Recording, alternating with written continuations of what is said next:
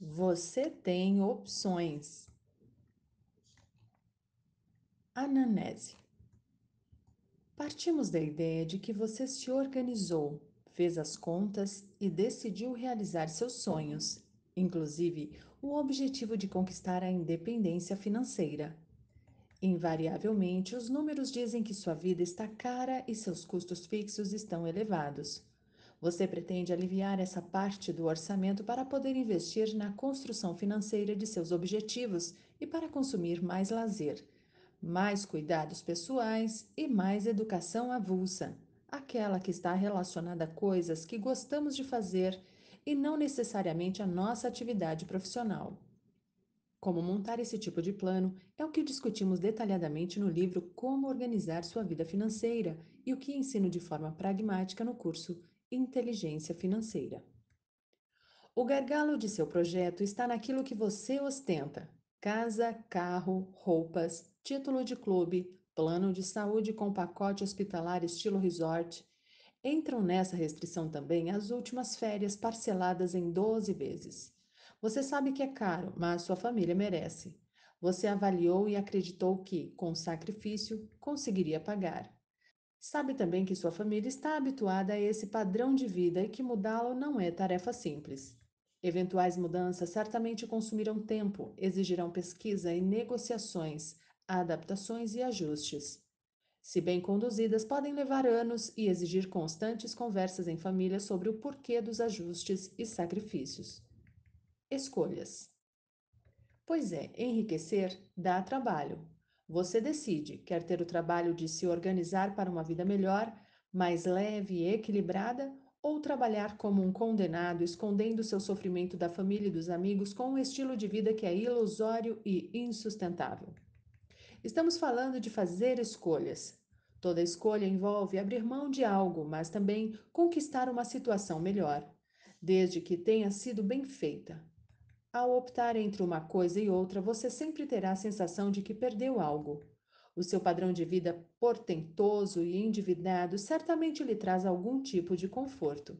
Talvez seja apenas emocional, como aquele tapinha nas costas acompanhado de um comentário do tipo: bela gravata, mas o que muitos não percebem é que esse tipo de satisfação é paliativo e só serve para justificar a preguiça de encarar o trabalho, de buscar um grau de conforto maior e mais durável. Em várias situações da minha vida, tive que tomar decisões difíceis que envolviam grandes perdas em troca apenas da possibilidade de ter grandes ganhos. Uma delas foi largar o doutorado na Universidade de São Paulo e uma carreira acadêmica sólida para empreender fora do país. Você trocaria doutorado e carreira estável, disputada e com boa remuneração por uma aventura? Recém-casado e sem filhos, meu momento de vida permitia correr alguns riscos. Encarei o desafio junto de minha esposa Adriana.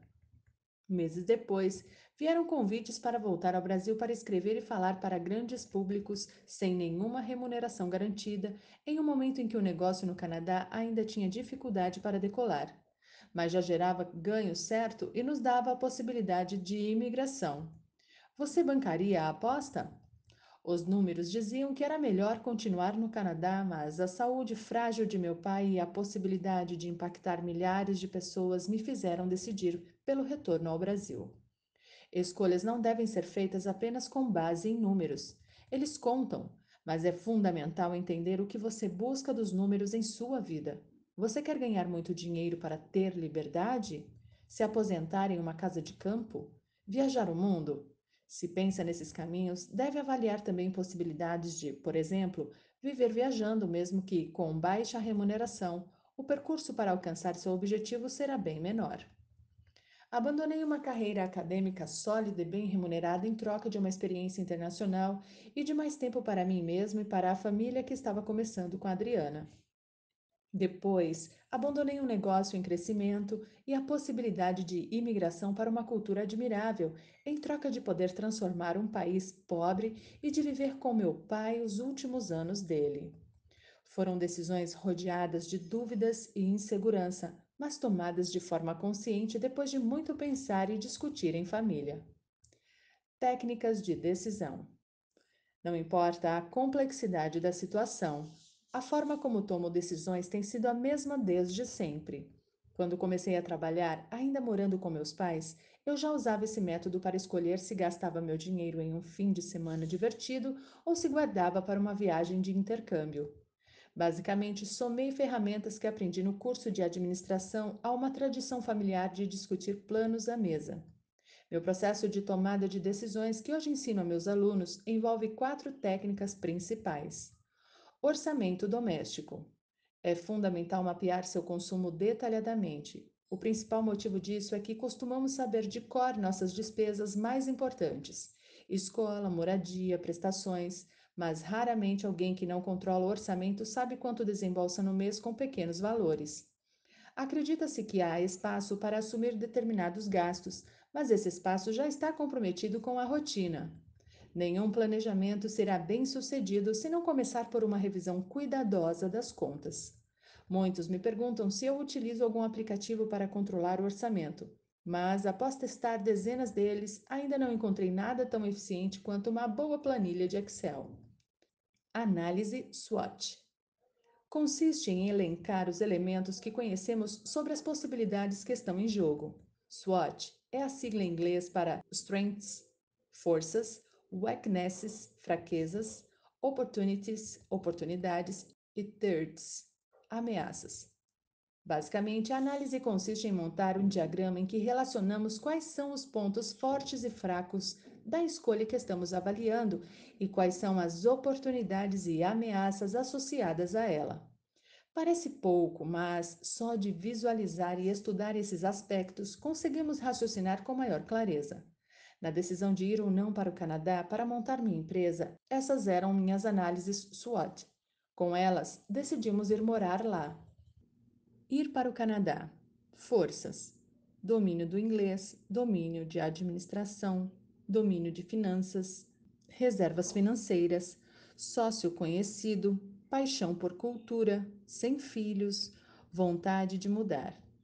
Fraquezas: inexperiência, visto temporário, sair do doutorado, perder renda sólida, apego à família, filhos longe dos avós.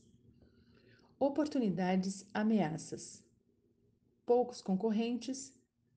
Oportunidades: poucos concorrentes, país seguro, facilidade de abrir empresa, facilidade para imigrar, tributação reduzida, regras claras, convite de emprego para Adriana, vida mais previsível. Ameaças: rejeição do negócio, demora para o negócio engrenar, certificação do negócio, saúde dos pais, saudades, convites para trabalhos no Brasil. Plano B. Também conhecido como plano alternativo ou de fuga, é a estratégia para quando o plano principal não funciona. Muita gente entende como plano B a típica decisão emergencial como vender o carro para pagar as contas em um período de desemprego. Isso não é um plano, mas sim uma solução precária diante de uma emergência. Um plano B é, por exemplo, ter uma reserva financeira para cursar uma pós-graduação ou especialização caso se venha a ficar desempregado. É aquela estratégia muito bem pensada e periodicamente revisada para ser colocada em prática caso a ideia principal não surta efeito. Requer tempo, mas ter uma alternativa pronta em caso de imprevistos torna a vida bem menos sofrida. E não é exagero afirmar que boa parte de meu sucesso profissional se deve a meus planos B. Um deles era escrever um livro caso as vendas da empresa canadense não decolassem, e foi nesse contexto que comecei a organizar casais inteligentes enriquecem juntos meu maior best-seller. É assim que muitos pedem demissão e fazem nascer uma nova e brilhante carreira. Debates, muitos debates. Especialistas em estratégia costumam recomendar que falemos menos e ouçamos mais. Quem fala demais supostamente abre a guarda para concorrentes, mas eu, particularmente, tenho ressalvas a essa postura.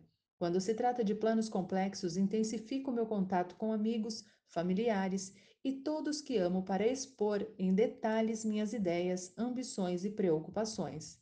São essas pessoas que se importam comigo que apontam minhas falhas e sugerem alternativas e planos B. Sem contar que muita conversa com amigos queridos significa muitos encontros e muitas risadas. Essa costuma ser a melhor parte do planejamento. Outras técnicas sempre são bem-vindas para refinar a escolha que estamos para fazer. Mas ao longo do tempo, tanto eu quanto meus alunos testamos diversas e essas quatro sempre sobressaíram. São elas que uso para exemplo, para decidir um destino e fazer planos de viagens de férias. E eu me orgulho bastante de todas as viagens que fizemos em família. No dia em que cansar de ensinar finanças, poderia até trabalhar com turismo. Olha o plano B aí. Rever escolhas. Voltemos à necessidade de rever as grandes escolhas. Lembre-se de que, se é preciso reduzir gastos, dezenas de iniciativas para economizar podem até ajudar, mas por pouco tempo. Na melhor das hipóteses, a inflação sobre suas economias será maior do que a evolução de seus ganhos, o que dissolverá com o tempo os resultados obtidos.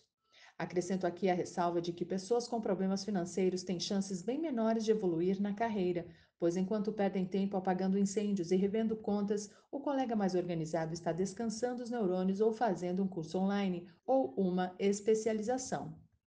Se você não está conquistando o que quer, precisa rever seu estilo de vida.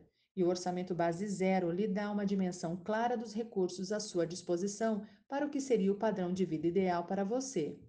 Para entender melhor esse conceito, darei aqui um exemplo de orçamento simplificado que analisaremos juntos.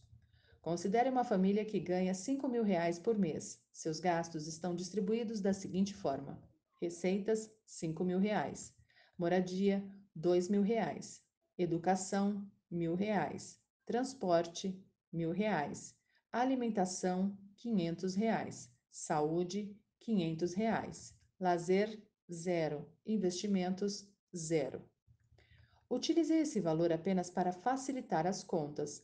A reflexão aqui vale tanto para uma família que ganha dois mil reais mensais quanto para uma que recebe duzentos mil reais mensais.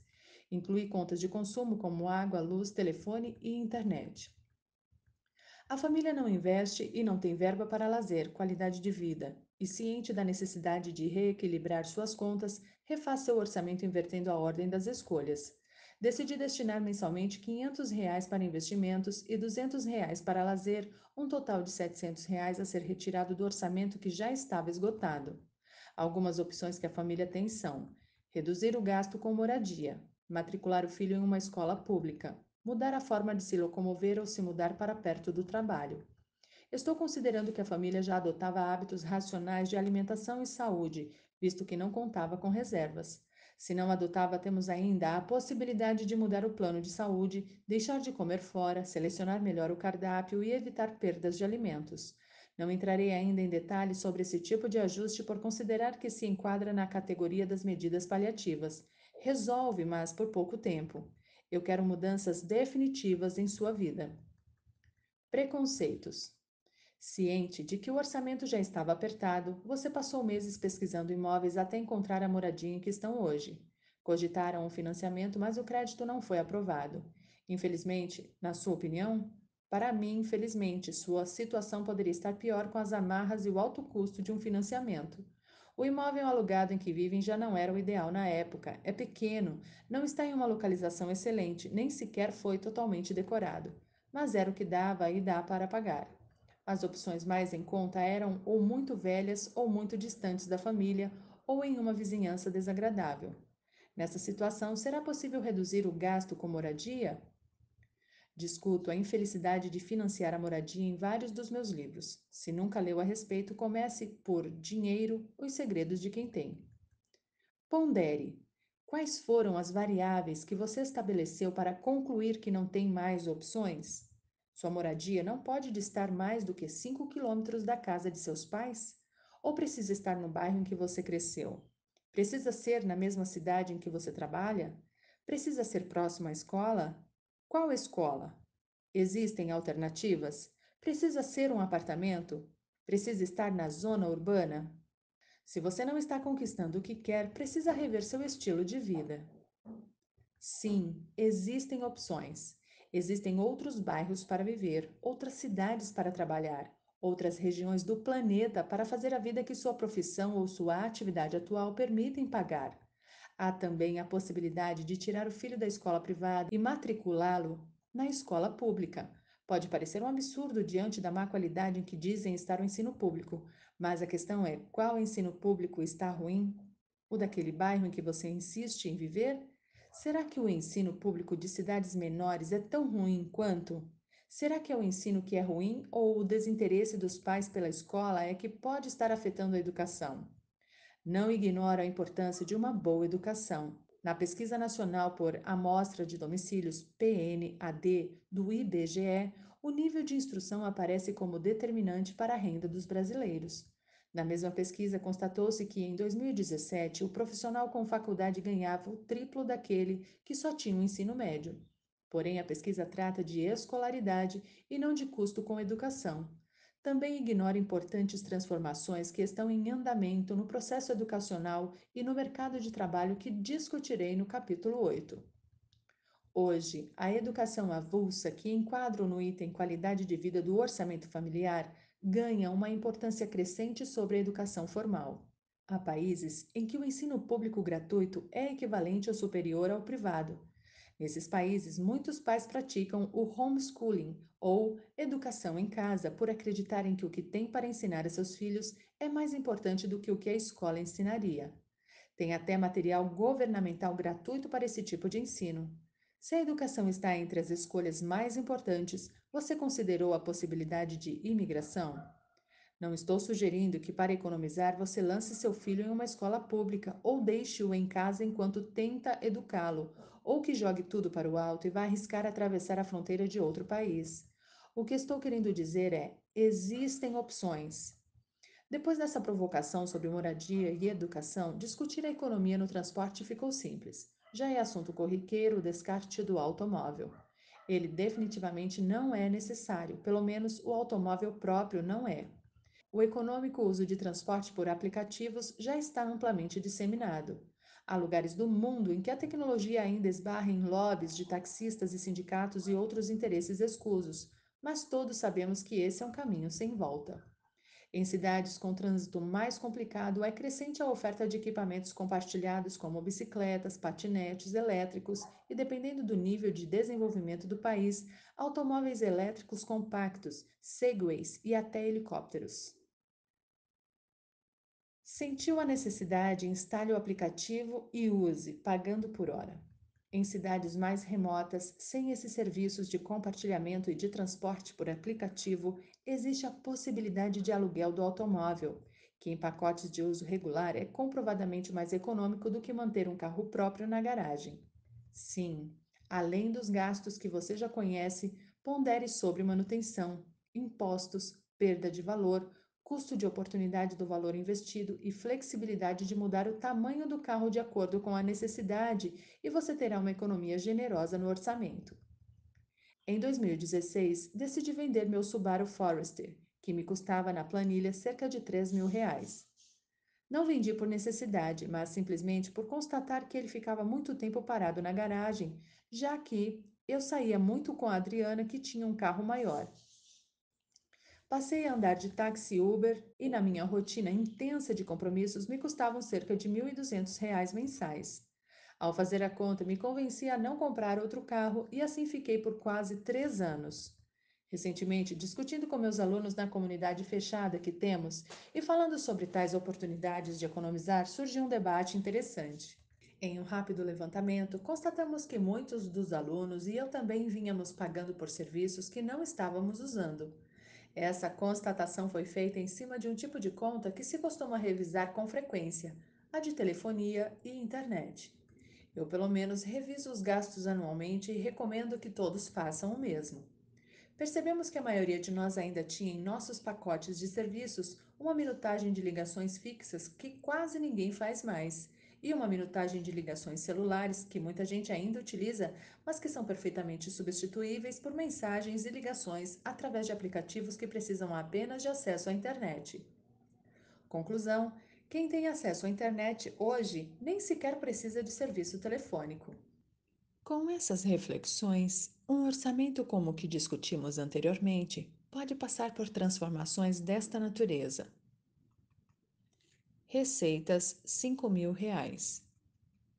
Moradia dois mil, educação mil reais, transporte mil reais, alimentação quinhentos reais, saúde quinhentos reais, lazer zero, investimentos zero. Receitas cinco mil reais. Moradia, R$ 1.500. Educação, 600 reais. Transporte, R$ 1.200. Alimentação, R$ 500. Reais. Saúde, 500 reais. Lazer, 200 reais. Investimentos, 500 reais. No caso acima, pode-se considerar, por exemplo, que a mudança para um bairro mais distante, com imóveis mais baratos, resultou em um deslocamento maior e aumento do custo com transporte. Também podemos considerar que a família optou pelo ensino público gratuito, mas passou a gastar com aulas de idiomas, Kumon ou reforço. Pare e pense. Você tem opções, só não as aproveita por preconceito ou porque não parou para pensar. Recomeçar. Dá para reduzir o padrão de vida quando se mora de favor, só se gasta com comida e remédios e ainda há dívidas acumuladas? Fiz essa pergunta no capítulo anterior para exemplificar um cenário familiar genuinamente dramático. Existem situações em que realmente não há como continuar. Se o rendimento do trabalho ou dos bicos feitos enquanto se busca novo trabalho não permite sequer custear o mínimo de dignidade para a família, é porque algo está errado. A vida que você escolheu levar, por exemplo, a cidade onde mora, não é compatível com o emprego que você tem, a atividade que exerce ou as capacidades que adquiriu. É preciso mudar. No entanto, sem dinheiro, é inviável custear a mudança de residência ou um investimento em educação para dar uma reviravolta na vida. Em muitos casos, é preciso recomeçar o que eu entendo como o processo de liquidar totalmente a vida atual, desfazendo-se da moradia e dos bens adquiridos. Desvincular-se da ideia de que você tem um emprego e vive em um determinado bairro. Avaliar onde suas habilidades são mais necessárias e mais bem remuneradas. Avaliar o custo de vida no bairro, cidade, estado ou país onde você estará mais bem empregado. Avaliar se, para conseguir um novo emprego, é preciso desenvolver alguma nova habilidade, por exemplo, aprender um idioma para trabalhar em outro país ou obter um certificado para ser contratado formalmente. Elaborar um planejamento com base no que você pode ganhar, nos objetivos que quer construir e no padrão de vida que pode bancar sem abrir mão de qualidade de vida. O mesmo raciocínio vale para as famílias com renda elevada, mas que não conseguem colocar em prática planos de aposentadoria ou de garantir bons estudos para os filhos, ou de contratar seguros ou fazer reservas que permitam manter, que permitam manter o patrimônio. Quanto mais se posterga a busca do equilíbrio, mais doloroso será o reconhecimento da incapacidade de manter o padrão de vida. Por que não simplesmente mudar? Nessa situação, ficamos mais sensíveis, estamos sob pressão e com menos flexibilidade e paciência para lidar com novos problemas. Pequenos incidentes como um furto ou um susto típico da violência das grandes cidades, aos quais somos mais suscetíveis quando estamos mais ansiosos e menos focados, tendem a nos afetar mais do que o normal. É comum, em um cenário de dificuldades, nos encantarmos pelos aspectos positivos de outras culturas e nos motivarmos a jogar tudo para o alto e emigrar. Afinal, a grama do país vizinho é muito mais verde do que a nossa. Cuidado! Ao recomeçar, será muito mais fácil se você puder pular algumas etapas. Ao mudar de faculdade, devemos considerar quais matérias cursadas podem ser aproveitadas como créditos no novo curso. Ao mudar de país, será muito menos sofrido contar com etapas já percorridas. Por exemplo, ao mudar para outro país, absolutamente tudo será novo, do estilo de vida à forma de contratar seguros, do histórico de crédito ao conhecimento sobre investimentos, da carência do plano de saúde à adaptação dos filhos à escola. Tantas novidades podem pesar, principalmente porque nesses momentos de grandes transformações é mais comum cometermos erros.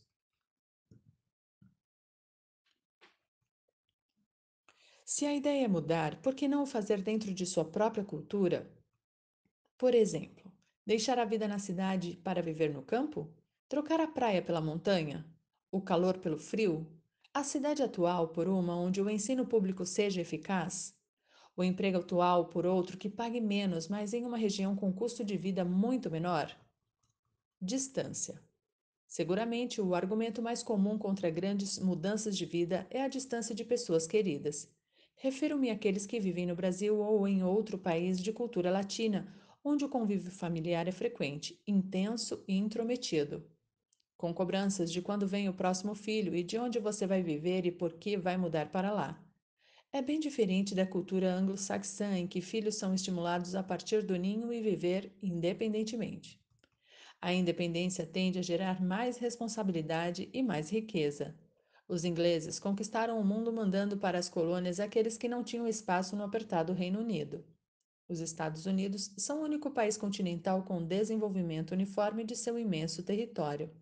Seus filhos se formam e partem para viver onde vale a pena, não onde papai e mamãe moram. No Brasil, a favelização das grandes cidades é resultado da falta de distribuição de oportunidades concentradas em poucos lugares para onde se destina todo tipo de mão de obra, qualificada e não qualificada, para disputar um número de vagas muito menor do que a demanda. Sem emprego, sem oportunidades, sem dinheiro para retornar e sem a atenção do Estado, mas com uma renda de bicos superior ao que ganhava na origem, mais um irmão é abraçado pela comunidade. Viver onde muitas pessoas estão na mesma situação é confortante, apesar de não ser confortável. Assim se fortaleceram as favelas. Falta esclarecimento à população. Não se deve migrar em busca de maiores ganhos, mas sim em busca de melhores resultados para a vida. Se a situação está difícil, pode ser que tenha havido falhas no processo de educação, o que é ruim mas é menos ruim quando você busca oportunidades de trabalho e de novos aprendizados, onde você tem referências pessoais em comparação à busca de oportunidades onde você não é ninguém. Isso vale para a tentativa de viver em outro país. O ideal mesmo é avaliar suas capacidades e pesquisar onde elas são necessárias. Utilizar a matriz SWOT para discutir em família os prós e contras da mudança. Distância dos países e amigos, Hoje se viaja a um custo muito baixo mesmo de avião, e normalmente quem está distante costuma se disciplinar para manter contato frequente. Eu sempre vivi perto de meus pais, exceto quando estive no Canadá. Nossa rotina no Brasil era de encontros semanais, de vez em quando pulando um fim de semana em que eu estava com amigos. Quando vivi em Toronto, o contato com meus pais passou a ser diário pela internet. Nos mais espaçados reencontros, os abraços eram melhores. A distância não é desculpa para você não viver melhor. Você definitivamente tem opções. Capítulo 5 A riqueza da vida simples. Extremos. A vida em favelas ou comunidades tem suas limitações e dificuldades. A maior parte da desatenção do poder público. Há sofrimento e violência, mas também há identidade e acolhimento. A geração nascida em favelas, justamente aquela que passou a chamá-las de comunidades, orgulha-se e identifica-se com seu berço, com sua identidade cultural e com o potencial de transformação desses lugares. Para essas pessoas, o devido cuidado com o planejamento pode proporcionar uma vida tão ou mais digna do que aquela que se leva dentro dos muros de um condomínio de luxo. Ao me referir a esse estilo de vida, portanto, não o faço de forma a rotular uma favela como um estilo de vida pobre. Pesa a favor desse argumento o fato de que, em muitas das grandes cidades brasileiras, o aluguel de um barraco numa comunidade chega a custar mais do que o aluguel de uma casinha de dois quartos em uma cidade pequena.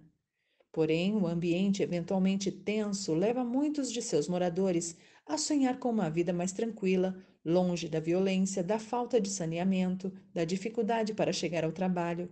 Sonhos viram planos, que se concretizam quando são devidamente organizados. Ao planejar uma nova vida, o cenário deixa de ser, por exemplo, como organizar a renda familiar de mil reais vivendo na comunidade e passa a ser como viver bem ganhando mil reais. Pondere suas habilidades e onde elas podem ser desempenhadas. Já pensou em prestar um concurso público em um estado com menor demanda? Candidatar-se a vagas em outra cidade? Buscar emprego onde há boa oferta de cursos noturnos profissionalizantes? Dependendo do destino escolhido, sua opção pode ser trocar uma casa simples, insegura e cara na cidade por uma casa mais simples, ampla e barata em uma região mais pacata ou rural. O seu salário lhe paga uma vida digna em qual região? Ou, em outras palavras, como e onde vivem as pessoas que são felizes com seu nível de renda? O mesmo raciocínio vale para diversas escolhas da classe média. Talvez você esteja se sentindo financeiramente sufocado, mas ilusoriamente satisfeito com o padrão de vida que sua família leva. Talvez tenha estudado possibilidades de viver em outro estado ou país, mas não viu vantagens significativas, afinal, você já mora perto de boas escolas. Lembre-se, a classe média é a camada social que mais sofre em um país mal administrado. Paga impostos pesados, mas não tem acesso a boas escolas e bons tratamentos de saúde. Precisa pagar escola privada e plano de saúde. Paga IPVA, mas seu carro popular e frágil não aguenta as ruas mal pavimentadas, o que encarece a manutenção. Os impostos que paga não garantem sua segurança, mas também não tem recursos para blindar a casa. Ao considerar se mudar para outro país, as pessoas normalmente analisam os custos que terão com o aluguel de uma casa, a compra de um automóvel, o combustível do carro. Numa comparação entre o custo de vida no Brasil e no exterior, há outro fator importante: quanto você recebe em troca dos impostos que paga. Muitos tomam a decisão de imigrar porque percebem que terão uma queda vertiginosa nos gastos com educação e saúde e irão receber em troca um serviço público de qualidade e que indeniza de maneira justa em caso de falhas. Mas, por outro lado, sua matriz SWOT pode lhe mostrar, por exemplo, o peso da decisão de se afastar da família. Ponto a ponderar. Pare e pense: uma vida em um condomínio de luxo vale o que custa? A casa ampla, os empregados, jardineiro, piscineiro e afins, mais a manutenção periódica certamente tem um peso no orçamento. A blindagem contra a violência, o custo com a segurança, o isolamento da sociedade que serão benéficos aos filhos? O belo carro exclusivo que dá para pagar significará quanto em perdas lá na frente? Não questiono aqui as paixões de cada um. Mas fato é que nove em cada dez pessoas que vivem em condição glamurosa o fazem sem cuidar da sustentabilidade de suas escolhas. O sofrimento futuro é previsível e pode ser evitado. Para esses, buscar um padrão de vida 10% mais barato seria extremamente transformador e libertador. O outro extremo. Para concluir esse raciocínio em que expus possibilidades de simplificação da vida, quero refletir também sobre o caminho inverso. O cenário agora é de alguém que vive em um lugar seguro, em uma casa confortável, espaçosa e com piscina, ou então em uma casinha simples, mas com um, rico pomar nos fundos. Nada falta à família que tem aquela vida do interior generosa em frutos, amizade e tranquilidade. Mas nesse cenário talvez sobrem ambições. A vontade de dar a volta ao mundo, fazer uma especialização no exterior, garantir uma faculdade privada de primeira linha na capital, mas tudo isso custa caro. A renda no interior oferece fartura naquilo que é típico da região, mas não permite ambicionar muito além disso. Seria o caso de avaliar, por exemplo, se sua capacidade de trabalho ou de negócios geraria mais resultados em uma cidade grande como São Paulo ou Londres, ideais para relacionamentos profissionais e oportunidades de carreira. É provável que todo trabalhador ou empresário bem-sucedido em cidade pequena já tenha feito essa conta. A mudança custaria muito caro. Afinal, viver com o mesmo conforto com que se vive no interior custaria quatro ou cinco vezes mais na cidade grande. É verdade. Porém, pensando assim, jamais alguém achará sensato mudar do interior para uma metrópole. O erro está justamente em tentar manter o que se considera o mesmo conforto. O bem-estar, a liberdade e a leveza que se tem em uma vida interiorana jamais existirão em uma cidade grande. Simular essa vida pode custar fortunas, mas se considerar a hipótese de deixar sua vida de rancho em troca de um loft compacto e moderno na cidade, numa região central com bom comércio e transporte público que lhe garanta mobilidade, pode ser que você até pague um pouco mais para viver, mas estará exposto a mais oportunidades de crescer. Residência compacta e um orçamento leve que permita visitar a família que mora longe e também aproveitar o que uma cidade grande tem de interessante gastronomia, cultura, entretenimento, experiências. Simplicidade mesmo em uma vida mais complexa. Lembre-se de pensar sempre: dado o cenário, qual a melhor forma de viver com a limitação de recursos que tenho? O efeito cascata dos gastos. Além do foco em qualidade de vida, ou seja, naquilo que faz você mais feliz, que desenvolvi até agora, há o viés puramente financeiro ou matemático em uma escolha de simplificação do padrão existente. Suponha que, em busca de reduzir o seu gasto com moradia, você opte por um imóvel um pouco mais compacto e 10% mais barato, seja em custo de aluguel ou parcela de financiamento. Sua economia final muito provavelmente será bem maior do que esses 10%, em razão do efeito cascata da cadeia de gastos. Um imóvel mais compacto e barato tende a ter imposto sobre propriedade mais baixo, condomínio seguro mais em conta, consumo de energia menor e um custo também menor para decorar. Tecnicamente, já era esperado que esses gastos, também existentes na moradia original, ficassem menores no orçamento. Porém, o que poucos percebem antes de mudar para o novo local é que imóveis mais econômicos tendem a se localizar em bairros mais econômicos, condomínios mais populares ou adequados para famílias jovens, idosos ou estudantes, normalmente se localizam em áreas menos nobres, onde o custo do aluguel do metro quadrado é menor tanto para os imóveis residenciais quanto para os comerciais. Isso significa que, nesses bairros, provavelmente o supermercado, a feira e a padaria também serão mais baratos, assim como o litro dos combustíveis e os preços do comércio e dos restaurantes. Não se trata de preços menores em razão da menor qualidade, mas sim do menor custo para montar e manter um negócio. Quem mora perto de um shopping center, por exemplo, pode gastar mais por esse conforto. Se optar por ir ao shopping de carro, já começará com um custo maior por causa da cobrança de estacionamento e, mesmo que vá a pé, suas compras sairão mais caras por embutirem no preço o custo de aluguel e a comissão de vendas que os comerciantes pagam à administração do shopping. O efeito cascata vale também para automóveis. Um veículo mais simples tem todos os custos menores imposto sobre propriedade, seguro, manutenção, combustível e também menor perda de valor de revenda, já que a manutenção é mais econômica e menor propensão a levá-lo a se preocupar com estacionamentos.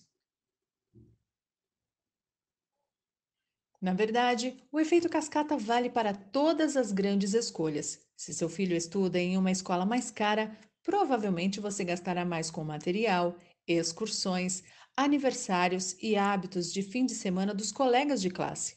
Se você consegue pagar uma viagem mais sofisticada, gastará mais com experiências extras, gorjetas e gastronomia. Cuide bem do seu jardim. Nas grandes cidades, os argumentos para fazer compras em shopping centers vão além da simples comparação de preços. Muitos preferem esse tipo de local por razões como segurança, variedade de opções, conforto, ar-condicionado e serviços de conveniência como banheiros, ambientes para bebês e praça de alimentação. Porém, não se pode desprezar o fato de que grandes shopping centers, ao atrair consumidores por conta dessas conveniências, retiram consumidores do comércio local. Problema dos comerciantes, certo? Errado. Esse tipo de situação afeta diretamente suas finanças mesmo que você prefira e possa pagar pelo conforto do shopping. Se o comerciante que tinha uma loja de roupas, uma quitanda ou uma livraria perto de sua casa passa a ter prejuízo e fecha as portas, acontece um efeito cascata que chegará a seu patrimônio. Seu imóvel, que certamente tinha um valor a mais por contar com comércio nas redondezas, pode sofrer uma depreciação. Se esse efeito persistir, os pontos comerciais permanecerão fechados e poderão sofrer vandalismo, deteriorando mais a vizinhança. Imóveis vazios normalmente acumulam sujeira, pragas e não recebem cuidados de fachada, de calçada e de árvores e jardins. Quando um bairro entra em decadência, o valor dos imóveis e do patrimônio de seus proprietários também é corroído. Por isso, é extremamente enriquecedor valorizar o comércio e a produção locais. Um comerciante bem-sucedido lucrará mais e fará melhorias na loja e na fachada. Quanto mais o negócio crescer, mais ele tenderá a utilizar serviços do bairro como entregas, galpões, embalagens e similares. Também terá maior poder para pleitear melhorias junto aos órgãos públicos. Talvez você constate que o comércio próximo à sua casa tem preços mais altos do que no bairro vizinho, mais popular. Em vez de dedicar tempo e combustível a se deslocar até lá, experimente barganhar com o comerciante local com o argumento da fidelidade. Quem compra sempre no mesmo local merece descontos que o comprador eventual não recebe.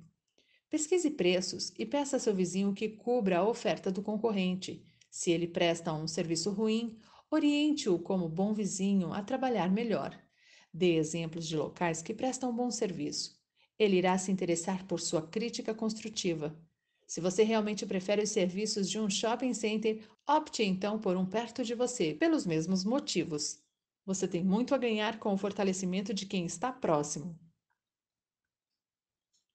Como morador do meu bairro, eu me preocupo com ele. A atitude cidadã inclui ligar para a prefeitura para cobrar segurança, asfalto e limpeza, além de ajudar a varrer e recolher lixo da calçada do vizinho, assim como colocar frutas na janela para os passarinhos. Se um de seus vizinhos for um folgado, ajude outro que corresponda à sua atitude, mas não deixe de cuidar bem do seu jardim, senão os pássaros vão embora e com eles a felicidade e o valor de seu patrimônio. A decisão de viver no campo. Passei boa parte dos fins de semana de minha infância no interior de São Paulo, entre Americana e Itupeva, onde vivia a maior parte da família de meu pai. Nós éramos de São Paulo, vida urbana, mas minhas melhores memórias de infância são dos momentos com a família no ambiente do campo. Acredito que uma de minhas maiores riquezas foi crescer na cidade, mas com experiências do campo. Quando nossos filhos nasceram, eu e a Adriana entendemos que oferecer a eles uma oportunidade semelhante seria extremamente enriquecedor em termos de experiências, atividades físicas e socialização. Fomos atrás de uma chácara para alugar por alguns meses. A melhor solução para quem ainda está formando patrimônio para sua independência financeira. Mas na negociação recebi uma boa oferta. O mercado estava em recessão e o proprietário precisava de recursos. E fechei o negócio. Um amplo terreno em uma colina com vista para a mata e uma casa espaçosa na bucólica região vinífera de São Roque. Desse dia em diante, nossa vida mudou. Passamos a reunir mais os amigos e familiares sem a preocupação de entreter as crianças. Qualquer pequeno investimento em diversão é amortizado rapidamente. Folhas de papelão para deslizar na grama, cama elástica que fica ocupada quase 24 horas por dia, tratamento de piscina que custa menos do que uma ida ao cinema. Churrascos, feijoadas, festivais de massas e rodízios de pizzas passaram a ser mais frequentes em nossa vida, com a diferença de serem preparados em casa. No pomar, procuramos ter frutas diferentes para cada época do ano, buscando sempre ter o que colher do pé. A horta fornece fartamente o ano todo. Passamos a comer frutas e verduras mais saudáveis e sem defensivos tóxicos. Sobraria muita fruta nos pés, não fossem tantos os pássaros saruês e coatis na região. O clima ameno, já quase de montanha, faz suar durante o dia e convida ao fogo durante a noite. Redes para cochilar são o equipamento necessário e disputado. O ambiente é tão tranquilo que os dois dias do fim de semana são suficientes para nos revigorar para a semana intensa de trabalho. Talvez o único ponto desfavorável seja ver muitos amigos comentarem sobre filmes e séries de TV e nós não termos esse hábito, já que a maior parte de nosso tempo nos fins de semana é dedicado a conversas, leituras, quebra-cabeças, passeio com os cães, futebol, piscina e preparação da comida à beira do fogo. A gente costuma dizer que a vida está corrida demais para ver televisão. Ainda não sabemos se viveremos nessa casa nossa velhice, nem até quando a manteremos. Lá o tempo corre devagar e as preocupações com decisões também. O tempo é usado mais para viver. Essa é a vantagem da vida no campo. Lazer a custo baixo, alegria de plantar e colher do próprio quintal, facilidade e espaço para reunir pessoas queridas, lições de vida e de sociedade para as crianças, experiências valiosas que simplificam o importante papel de educar e a necessária tarefa de descansar. Adquirir nossa casa de campo foi um grande negócio em todos os aspectos. Você pode estar se questionando: se eu mal consigo pagar uma moradia na cidade, teria que comprar ainda uma casa de campo para viver melhor? Não, não necessariamente. Eu fiz o que tinha que ser feito para poder fazer o que quero hoje. Comprei meu segundo imóvel após conquistar a independência financeira e tomando os cuidados financeiros e estratégicos para não perdê-la. Se você ainda está na escalada, precisa usar a cabeça para alcançar seus objetivos diante das limitações do cenário. Por exemplo, faça as contas de quanto você desembolsa nos fins de semana de lazer urbano nas famosas idas ao shopping, quanto gasta com pequenas viagens em família e com as férias, incluindo ou não viagem. Quem organiza corretamente as contas sabe que férias sem atividades programadas podem custar mais caro do que pequenas viagens. Some esses valores e veja quanto dá por ano. Depois, faça uma pesquisa de quanto custa o aluguel de uma casa de campo ou de praia por uma temporada, pelo menos três meses. Descarte as datas festivas como Natal, Ano Novo, Carnaval, Páscoa e férias de julho e faça uma cotação de aluguel por um período mais longo. Tradicionalmente, o valor por mês será equivalente ao de uma semana entre o Natal e o Ano Novo. Ficou caro? Cogite alugar uma casa maior e dividir com pessoas queridas, ou então alugar em grupo e fracionar o uso por fins de semana, cada família em uma semana. Você perceberá quão vantajoso é abrir mão daquele resort na semana do Ano Novo para desfrutar de experiências mais intensas, duradouras e confortáveis com sua família. Uma vida simples, quando bem escolhida, pode ser extremamente rica para a família. Vida boa. Moro num lugar, numa casinha inocente no sertão, de fogo baixo aceso no fogão, fogão a lenha, ai ai. Tenho tudo aqui: umas vaquinha leiteira, um burro bom, uma baixada ribeira e um violão e umas galinha, ai ai.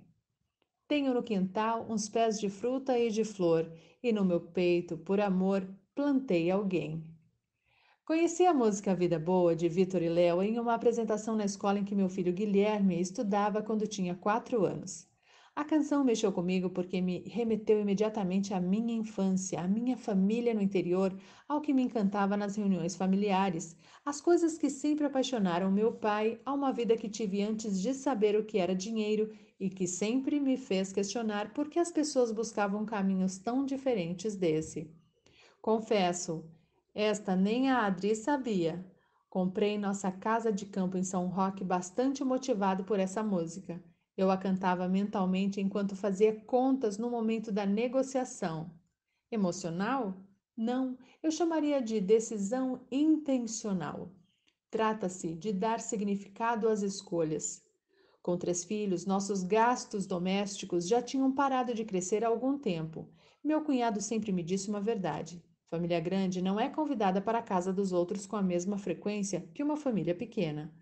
Os amigos com família pequena não estão habituados a receber no estilo buffet. Nossa rotina já era mais caseira, com passeios criativos e inteligentes, programas culturais mais econômicos. Vínhamos fazendo viagens curtas de fins de semana e feriados com o objetivo de envolver as crianças em uma rotina mais saudável e movimentada. Nossa preferência vinha sendo por hotéis fazenda. Quando nossa caçula, Ana Carolina, fez dois anos e começou a contar como hóspede, passamos a ter uma dificuldade. Nossa família deixou de caber nos quartos padrão de quatro lugares dos hotéis. Isso nos gerou dois problemas. Em primeiro lugar, tivemos que passar a nos hospedar em dois quartos. Não foi difícil contornar essa situação, pois os avós sempre gostaram de viajar conosco e um dos filhos entrava como hóspede de quarto deles.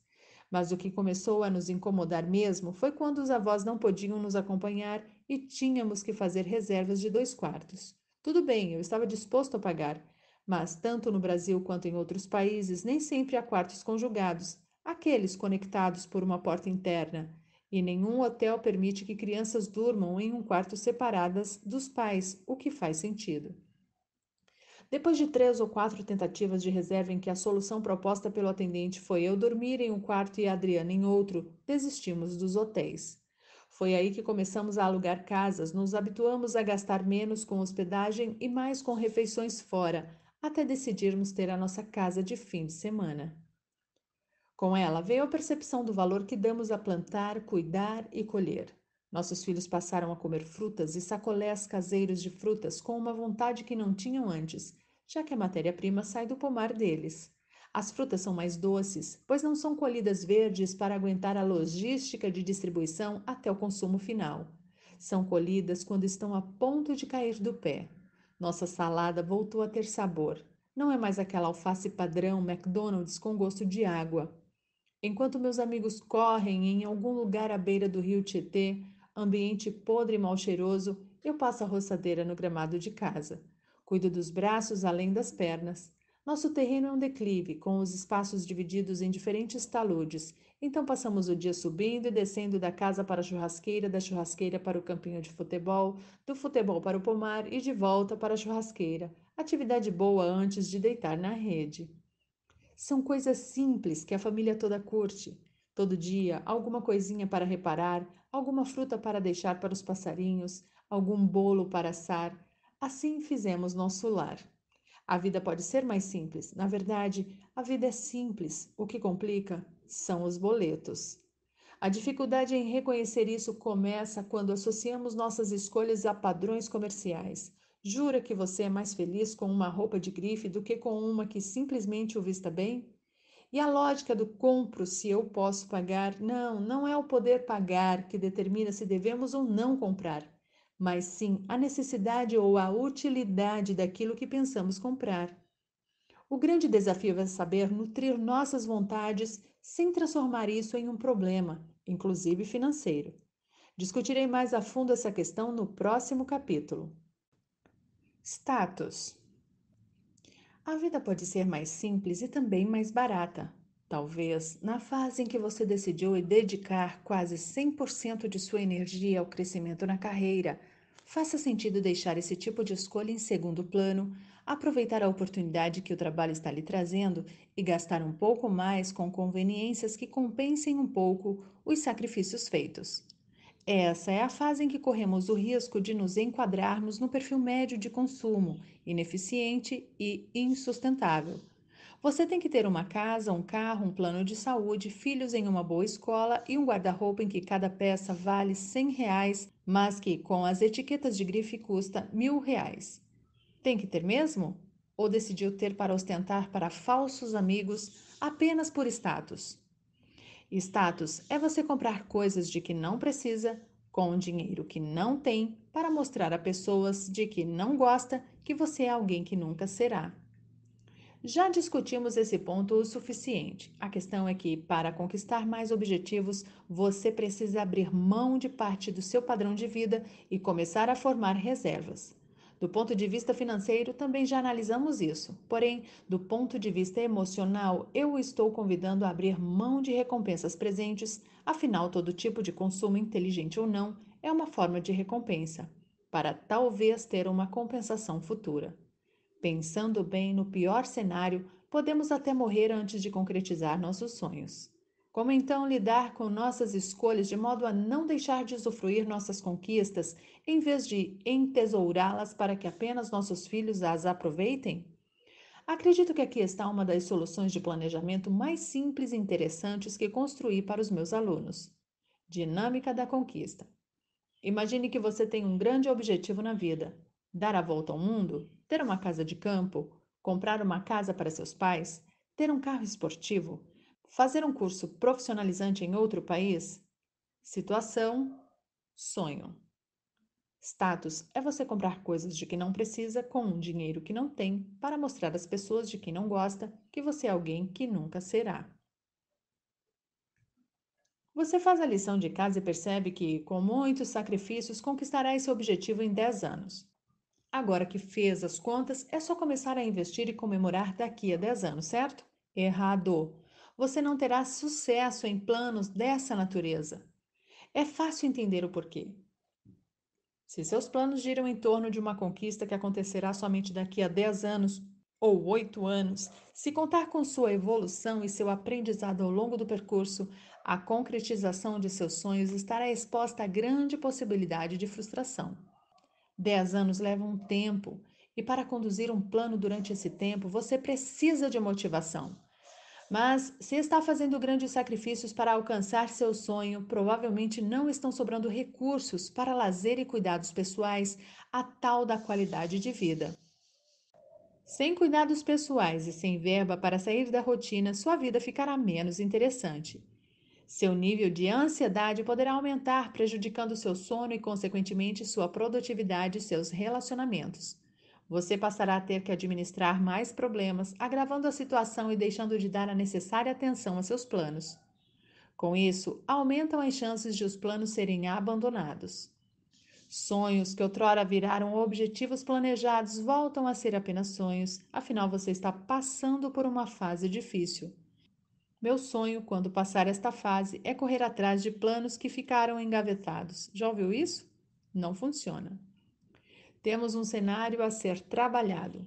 Seus planos agora devem ser construídos levando em consideração que, se o sacrifício for duradouro, as chances de abandonar o plano aumentam significativamente. Então, devemos definir uma estratégia que 1. Um, aumente a motivação para manter a disciplina. 2 não exija tempo excessivo para que o objetivo seja alcançado. Uma solução simples para isso envolve dois passos. O primeiro é diminuir o esforço de poupança para alcançar o objetivo, para que seja disponibilizada alguma verba para outros gastos que nos recompensem e alimentem nossa necessidade de motivação. Assim, conseguiremos manter a disciplina de longo prazo. Situação atual: sonho. O problema é que, poupando menos, levaremos mais tempo para alcançar nosso grande objetivo. Situação atual: objetivo. Mas com verba disponível, podemos criar objetivos intermediários que se traduzam em recompensas mais frequentes, alimentando nossa necessidade de compensação e nos permitindo manter o foco no plano para alcançar nosso objetivo principal. Situação atual: objetivo 1, objetivo 2, objetivo 3, Objetivo 4. Objetivo. Talvez você esteja se perguntando, mas não irei me frustrar com a necessidade de ter que postergar meu grande sonho? A resposta é: não necessariamente. Se seus objetivos intermediários estiverem relacionados ao principal, eles podem intensificar sua paixão pelo objetivo principal e até acelerar o processo de conquista. Um exemplo pode ajudar na compreensão. Nos itens anteriores, contei a história de como adquirir nossa casa de campo. Eu poderia ter me esforçado para comprar uma casa de veraneio anos antes. Vinha crescendo na carreira, melhorando meu crédito nos bancos, formando reservas que permitiriam pagar a entrada de uma propriedade. Nos fins de semana íamos a casas de colegas de trabalho e ficávamos maravilhados mas eu e a Adriana preferimos continuar construindo e expandindo nossa independência financeira ao mesmo tempo que canalizávamos nossa verba de lazer para um turismo ligado ao campo, a viagens, a dar experiências e liberdade às crianças. Essa escolha nos permitiu explorar diferentes lugares com diferentes estilos de vida, testando o sentimento das crianças nesses locais. Se tivéssemos adquirido uma propriedade anos antes, provavelmente estaríamos sufocados por um financiamento sempre ineficiente e com reservas financeiras menores. Mas, ao postergar essa decisão, não abrimos mão de dar a nossos filhos o estilo de lazer que considerávamos educativo e saudável. Quando tivemos a oportunidade de comprar, fizemos bom negócio em razão da capacidade de pagar à vista. Outro exemplo pessoal relacionado a um sonho. Sempre gostei de automóveis. A primeira faculdade que frequentei, embora não tenha concluído o curso, foi de engenharia mecânica, em razão de minha paixão por automobilismo. Quem gosta de carros normalmente gasta com carros, certo? No meu caso, não deixa de ser verdade, mas, mesmo tendo condições de comprar automóveis esportivos, optei por carros mais funcionais e adequados às necessidades da família. Ao mesmo tempo, não abri mão da minha paixão pelo automobilismo. Sempre andei de kart, Frequentei corridas em autódromos, senti o prazer de pilotar. Quando viajo, sempre dou um jeito de encaixar uma experiência em autódromo com algum carro super esportivo. No lugar de gastar muito com automóveis, gastei muitas vezes valores pequenos, raramente superiores a algumas centenas de dólares, para pilotar máquinas super exclusivas em lugares que fazem parte da história do automobilismo. Nas redes sociais, essa paixão fica evidente, o que me rende convites frequentes para novas experiências que me custam cada vez menos. Isso me permitirá comprar algum dia algum automóvel esportivo ou me inscrever em experiências cada vez mais exclusivas. Esse raciocínio vale para qualquer conquista. Você quer peregrinar pelo caminho de Santiago de Compostela? Deveria se planejar para Antes, conhecer outras rotas de peregrinação. Sonha em escalar o Everest? Deveria estar escalando pequenas montanhas todo fim de semana. Quer dar uma casa de campo para seus pais? Deveria alugar uma casa de campo por uma temporada e convidá-los a aproveitar essa oportunidade durante esse período. Outro bom exemplo é a educação dos filhos. Você sonha em garantir para eles uma boa faculdade privada ou no exterior, mas fazer as contas é desanimador. Seu esforço de poupança mal comporta o necessário para garantir o primeiro ano de estudos, o que não considera ainda o custo de vida, material didático, processos preparatórios. Sonho inviável? Não! É apenas um sonho que pode ser postergado por três ou quatro anos para que parte de sua poupança possível seja destinada a cursos complementares à escola, atividades extracurriculares, práticas esportivas e outros elementos da formação que, valorizados pelas melhores instituições de ensino, podem garantir bolsas de estudos ou até abrir novos horizontes de carreira que dispensem uma faculdade de primeira linha. Quanto mais você se envolve com algo relacionado a seu sonho, mais conhece sobre ele, mais aperfeiçoa suas pesquisas e seu planejamento. Isso permite revisar seus planos várias vezes encontrar caminhos mais eficientes de construí-los e gastar menos para realizá-los. Eu não viajo muito porque posso pagar pelas viagens. Eu viajo bastante porque conheço o assunto e consigo fazer com que meu dinheiro compre mais viagens do que a maioria das pessoas conseguem comprar. Enquanto conhecidos meus gastam 10 mil reais só de imposto em um carro com cara de esportivo que vai perder muito valor em pouco tempo, eu gasto dois mil reais pilotando carros de 700 cavalos a mais de 200 km por hora em um autódromo, sem dó de gastar os pneus. Conquistar um grande sonho não deve ser resultado de privação, mas sim de uma construção. Quanto mais você vive seu sonho, mais entende de construção dele e consegue de forma mais intensa fazer com que ele seja parte de sua vida. Reduzir o ritmo insano da vida moderna é dar-se a oportunidade de parar e pensar devagar para devagar. Quando saímos da rotina e observamos de longe, percebemos que há uma grande diferença entre o que se precisa aprender para ter um emprego e o que se precisa aprender para criar valor. Capítulo 6 Autoconhecimento gera autenticidade. Viver o sonho dos outros. Os exemplos que citei no capítulo anterior são baseados em minhas vontades e experiências pessoais e nas de muitos de meus alunos e seguidores. Quem me conhece sabe quanto gosto de viajar, mas seu sonho não é o que sonham para você, nem é o que faz os outros receberem aplausos. Todos temos sonhos ou necessidades, mas, estimulados a viver o sonho dos outros, passamos parte da vida simplesmente enterrando os nossos. O que chamo de sonho dos outros é aquilo que querem que você sonhe. Na prática, refiro-me à construção de desejos resultante de um esforço milionário de marketing que associa o sucesso a grifes, posses e símbolos de status. Bombardeados pela mídia, sofremos uma lavagem cerebral que nos induz a modelar ambições de acordo com o que causará o maior número de curtidas na rede social ou para que possamos nos sentir como se fôssemos o jogador de futebol que, teoricamente, rasga dinheiro com marcas famosas. Na verdade, ele ganha dinheiro para usar publicamente as marcas das empresas que o patrocinam. É perigoso viver o sonho dos outros. Impulsionado pela lavagem cerebral da mídia, você faz loucuras para alcançar um objetivo de consumo. A conquista lhe traz uma sensação de realização e um prazer gratificantes, afinal, é resultado de esforço. Mas, não sendo um objetivo verdadeiramente seu, essa recompensa não é duradoura. Em pouco tempo você percebe que falta algo, sente um vazio emocional e então parte atrás de outro sonho, também estimulado por um esforço de marketing. Esse processo de esforço recompensa vazio vai se tornando cada vez menos duradouro e gerando um efeito de ansiedade crescente, que acaba por se transformar em vício. Sem se dar conta, você se vicia em consumo. Em algum momento, estará como um zumbi pelos shopping centers procurando nas vitrines algo que nem sabe o que é, mas que precisa encontrar para conter sua ansiedade. O problema é que esse comportamento insano não afeta apenas a sua vida e seu futuro. O consumismo atingiu proporções tão gigantescas e impactou tanto a humanidade nas décadas recentes que passou a ser enfaticamente estudado e combatido em sociedades com melhor nível de educação. Sociedade envergonhada. O ser humano se uniu em sociedade de modo a facilitar o processo de satisfazer suas necessidades.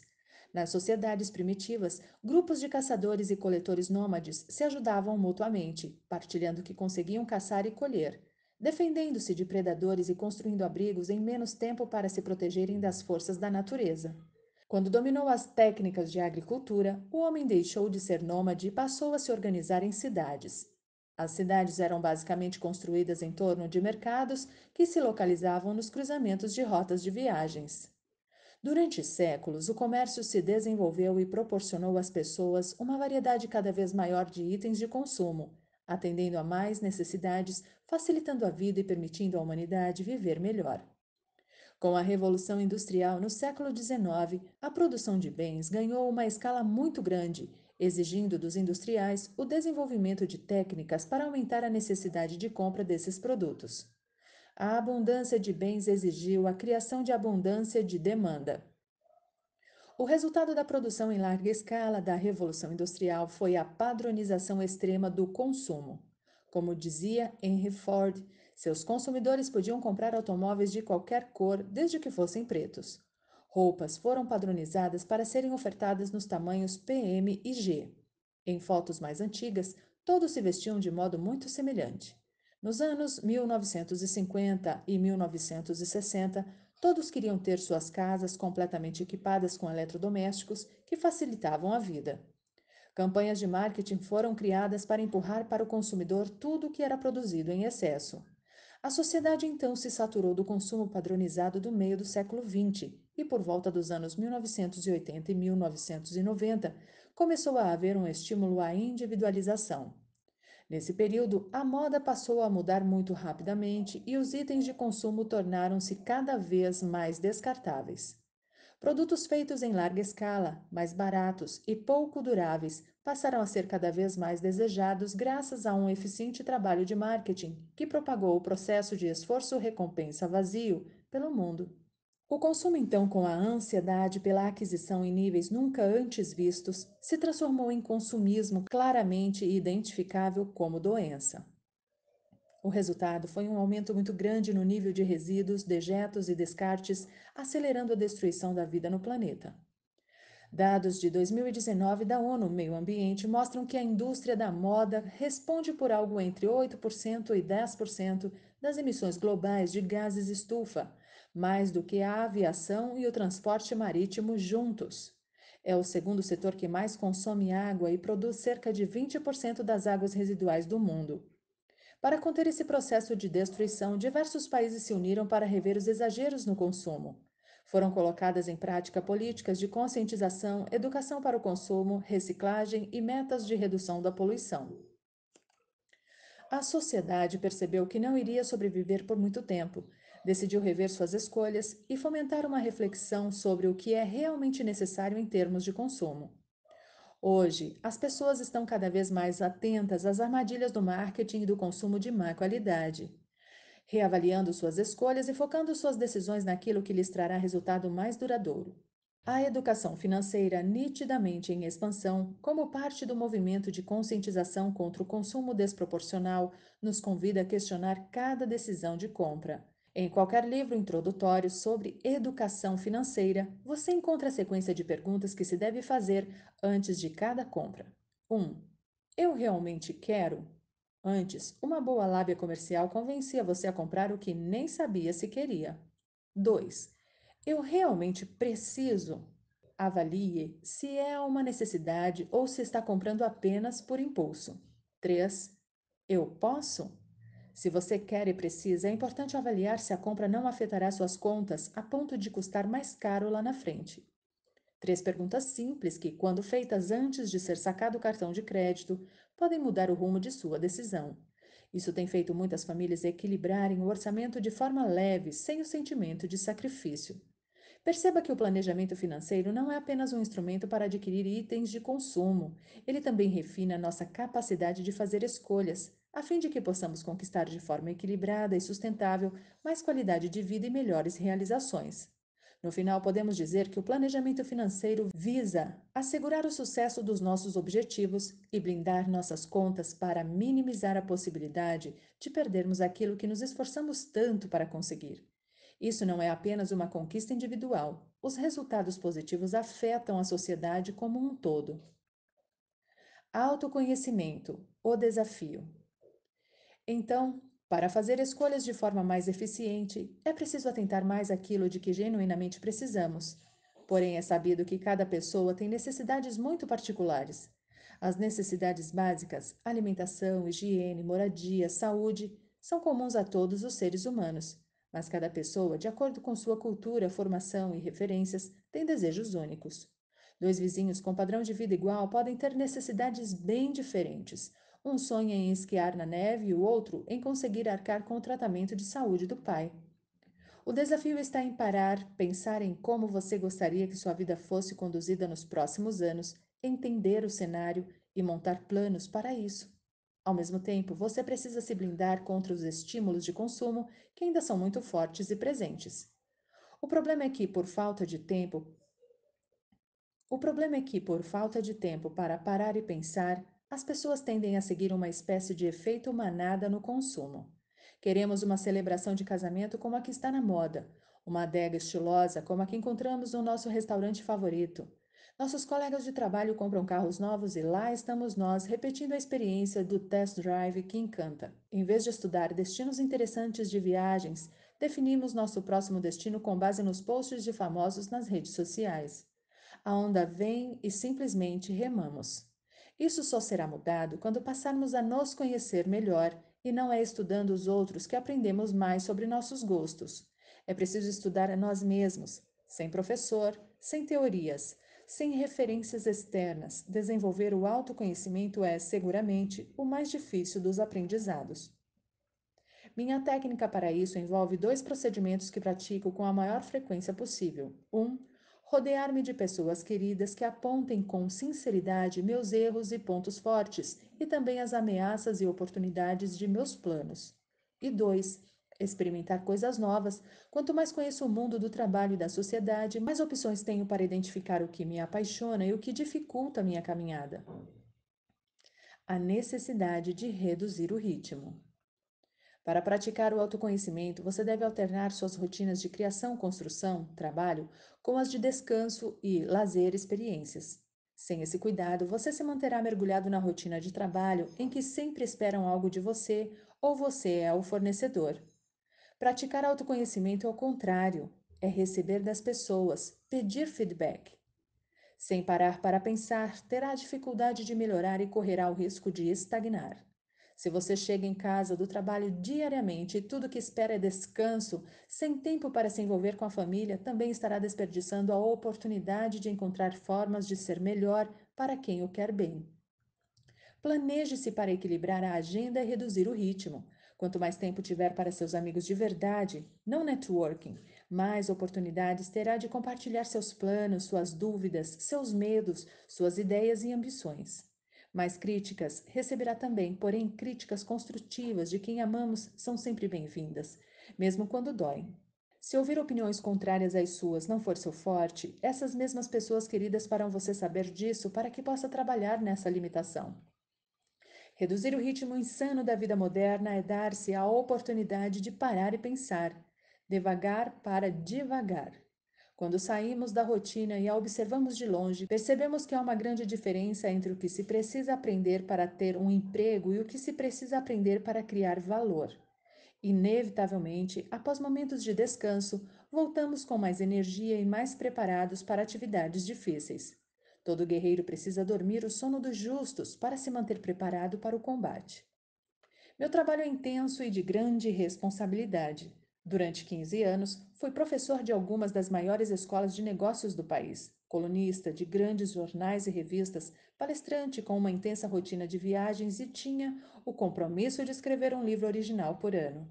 Mesmo com tamanha agenda, mantive nesse período o hábito de conceder férias de cerca de três meses por ano. Parece muito, mas era o tempo que eu sentia ser necessário para descansar, devagar, criar, cuidar de meu corpo e de minha mente e estar com minha família e meus amigos.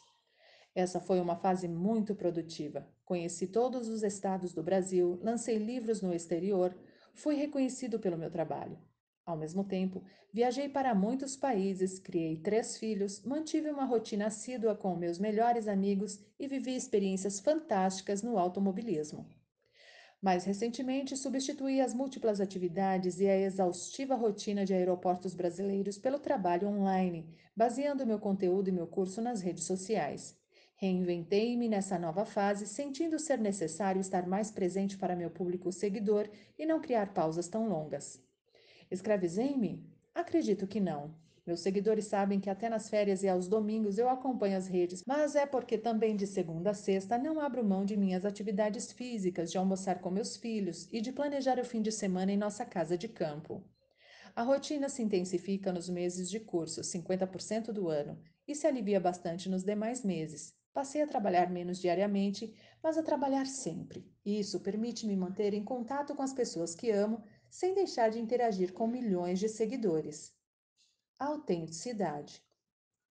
Pode ser que você não ambicione dar a volta ao mundo ou comprar uma casa de campo ou montar um negócio.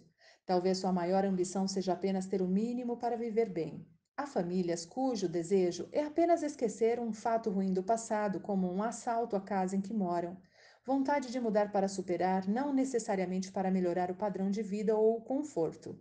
Ou pode ser que seu sonho seja acumular uma pequena fortuna para doar a alguma instituição filantrópica com a qual se identifique ou para a qual queira trabalhar quando se aposentar. Para muitas famílias, sonhar com alguma conquista é um luxo, já que o nascimento de um filho especial passou a exigir grandes gastos com tratamentos e tudo o que desejam é ter condição de continuar bancando os cuidados médicos de que ele necessita. Felicidade tem a ver com a frequência de alegrias que você tem na vida. Será mais feliz, portanto, quem tiver mais sucesso em praticar aquilo que lhe traz alegrias. Não importa qual seja seu sonho, o importante é que seus planos assegurem que você esteja construindo e vivendo esse sonho, pois isso fará de você uma pessoa mais feliz. Além de feliz, será uma pessoa mais autêntica, alinhada com seu propósito, motivada e focada em fazer o que não é tão importante para os outros, por isso tenderá a fazer melhor daquilo de que gosta. Isso alimenta o ciclo de motivação que faz com que você se interesse cada vez mais pelo que gosta de fazer. Assim nascem os perfis de destaque em suas áreas profissionais e nos círculos sociais. Autenticidade tem a ver com quebra de padrões, e você fará isso quando seguir menos a manada, der menos ouvidos a quem não tem os mesmos objetivos que você e atentar mais para o que pede seu coração. Digamos que você sonhe em fazer uma viagem de navio. O cenário hipotético para seu planejamento é o seguinte: você não tem conhecidos que fizeram algo semelhante. Sua baixa renda não permite parcelar uma viagem dessas em 12 vezes. Pessoas queridas o desestimulam com o argumento de que não é para seu padrão e, para piorar, suas férias costumam acontecer fora da temporada de cruzeiros. Mas é um sonho. Sendo assim, deve ser transformado em um plano. Você precisa pesquisar quanto custa uma viagem como essa e quanto consegue poupar por mês para realizá-la. Feitas as contas, saberá em quanto tempo acumulará os recursos: dois anos, cinco anos, trinta, não importa. O fundamental é ter em mente uma estimativa inicial. Montado o plano, é só começar a investir. A disciplina de poupança não deve ser problema, pois, sendo um sonho autêntico, tendemos a nos manter nele mesmo diante de pequenos imprevistos. Com seu plano em andamento, você deve se dedicar rotineiramente a estudá-lo e aperfeiçoá-lo. Como melhorar os investimentos? Qual a melhor época para um cruzeiro? Há possibilidade de viajar gratuitamente se você formar um grupo de viajantes? Como funcionam os descontos para aquisições de véspera de embarque? Enfim, o envolvimento vai lhe proporcionar múltiplas possibilidades de acelerar seu sonho ou de fazer com que ele aconteça melhor do que o inicialmente previsto. Afinal, planos não foram feitos para dar certo, lembra? Digamos, porém, que um grande imprevisto afete diretamente seus planos, por exemplo, a demissão do seu emprego atual. A renda já era baixa e estava difícil poupar. Então seria hora de engavetar o plano? De forma alguma. Uma ruptura dessa natureza pode ser, na verdade, uma grande oportunidade. Por que não se candidatar, por exemplo, para trabalhar em um navio de cruzeiro durante uma temporada? Melhor ainda se for fora do país. Um planejamento verdadeiramente cuidadoso até consideraria essa possibilidade como seu plano B no caso de desemprego, e você já estaria poupando menos para o cruzeiro, mas pagando também um curso de inglês básico. Mas diante da demissão de fato e contando com uma multa rescisória para se sustentar por alguns meses, você pode aproveitar o tempo livre para realmente estudar inglês. Percebe o que é autenticidade? Colocar seus sonhos acima das adversidades, fazer do limão uma limonada. Aprender e não se resignar com os erros cometidos e com as falhas de percurso. Errar é humano. Você já errou, eu já errei, muito, por isso cresci. Todos erram. Dentre os que erram, há os que colocam em prática as lições aprendidas e crescem. Lembre-se, o grande desafio é saber nutrir suas vontades sem transformar isso em um problema, inclusive financeiro. O cenário é, portanto, a referência para você saber como vai construir seus planos e não se vai ou não realizar seus sonhos. Fonte da felicidade. Definir felicidade é um conceito bastante abstrato e etéreo, como sendo a frequência com que você tem alegrias na vida. Então, pensando racionalmente, há duas formas de ter mais felicidade na vida. Uma delas é focar as escolhas e os planos na conquista daquilo com que sonhamos e que nos traz mais alegrias de fato, o que mais temos vontade de fazer. A outra é diminuir o tempo e os recursos dedicados àquilo que não contribui para as nossas alegrias. Quanta alegria traz para você uma peça de roupa cara e de difícil combinação? Você acorda mais feliz pelo fato de seu condomínio ter uma quadra de tênis à sua disposição? O que pesa mais na balança das alegrias quando você tem um carro super esportivo? A potência que você consegue aproveitar raríssimas vezes ou o imposto sobre a propriedade que chega no início do ano? Um souvenir comprado em viagem e grudado na geladeira trará a você mais alegrias do que os comentários de uma bela foto postada em sua rede social favorita? Há pessoas que dedicam, em uma viagem, tempo às compras quando deveriam estar experimentando, em seu tempo escasso, alguma nova e única experiência. Na verdade, há pessoas que fazem isso a vida toda. Saber de onde vem sua felicidade é um passo importante para eliminar de sua vida aquilo que não contribui para a felicidade. É disso que trato no próximo capítulo. Capítulo 7 No mínimo, a essência. Ponto de inflexão. Voltemos ao cenário para seu planejamento pessoal ou familiar. Vimos que Priorizamos ter mais qualidade de vida e realizar mais sonhos. Precisamos reduzir os gastos com o padrão de vida. O autoconhecimento nos conscientiza do que é realmente importante. Sabemos que muitos de nossos gastos nada agregam a nossas alegrias. Um passo importante para termos uma vida de mais realizações é focarmos em ter fartura daquilo que é genuinamente importante para nós. Ao mesmo tempo, devemos atentar para descartar o restante. Isso significa deixar de nos nortear pelo que a maioria das pessoas faz, ou então propor novos padrões a serem seguidos em seu círculo familiar e de amizades. A sociedade procurou evoluir, viabilizou o acesso a bens e tecnologia, começou a produzir lixo em um ritmo que fugiu ao controle e acabou por comprometer a qualidade dos alimentos, a saúde pública, a qualidade de vida e a capacidade de planejamento das famílias. Governos arrecadam para resolver problemas de desequilíbrio, não mais para prover a infraestrutura necessária para a sociedade continuar evoluindo. Perdemos por um tempo o foco e não sabemos mais o que é importante. Porém, tudo que é visto como excesso de uma geração tende a servir de contraexemplo para a geração seguinte, produzindo mudanças de comportamento que visam compensar os erros cometidos pelos pais. Nesse ciclo de transformação, estão sendo resgatadas práticas que trazem o foco de volta ao que é importante. Nos encontros de cúpula de países, nas reuniões de pais em escolas, nas rodas de cerveja ou café entre amigos, não é raro encontrar questionamentos do tipo: como fazer para viver melhor? Isso abre espaço para novas práticas e grandes mudanças. A sociedade se transforma. O que funcionou para algumas pessoas no passado não funciona mais. Talvez tenhamos que sair da zona de conforto, bater a mão no peito, assumir a responsabilidade e criar um caminho novo para a nossa vida. Não faltam exemplos de pessoas e comunidades que, de forma experimental ou até inconscientemente, estão criando caminhos que são bastante interessantes, enriquecedores e possíveis de serem adotados pela sociedade como um todo. O longo período de crise vivido pelos brasileiros a partir de 2014 fez a sociedade repensar e mudar hábitos. Em boa parte foram abandonados alguns vícios sociais típicos da economia brasileira. Em um cenário de perda de emprego, de perda da renda, de não conseguir manter duas fontes de renda na família, constatou-se que as pessoas procuraram enxugar suas dívidas, caiu o endividamento. As pessoas evitaram comprar a prazo, diminuiu o número de compras parceladas e o volume de gastos fixos no orçamento familiar. A análise de contratos passou a ser mais cuidadosa. O que meu cartão de crédito oferece? Esse investimento tem ou não tem liquidez? Quais as coberturas do contrato de seguro e do meu plano de previdência? Famílias tiveram que vender bens e optaram pelo uso compartilhado ou compra de itens de segunda mão. As pessoas estão mais cuidadosas, cogitando um plano B. Se eu perder o emprego, qual é o plano engatilhado?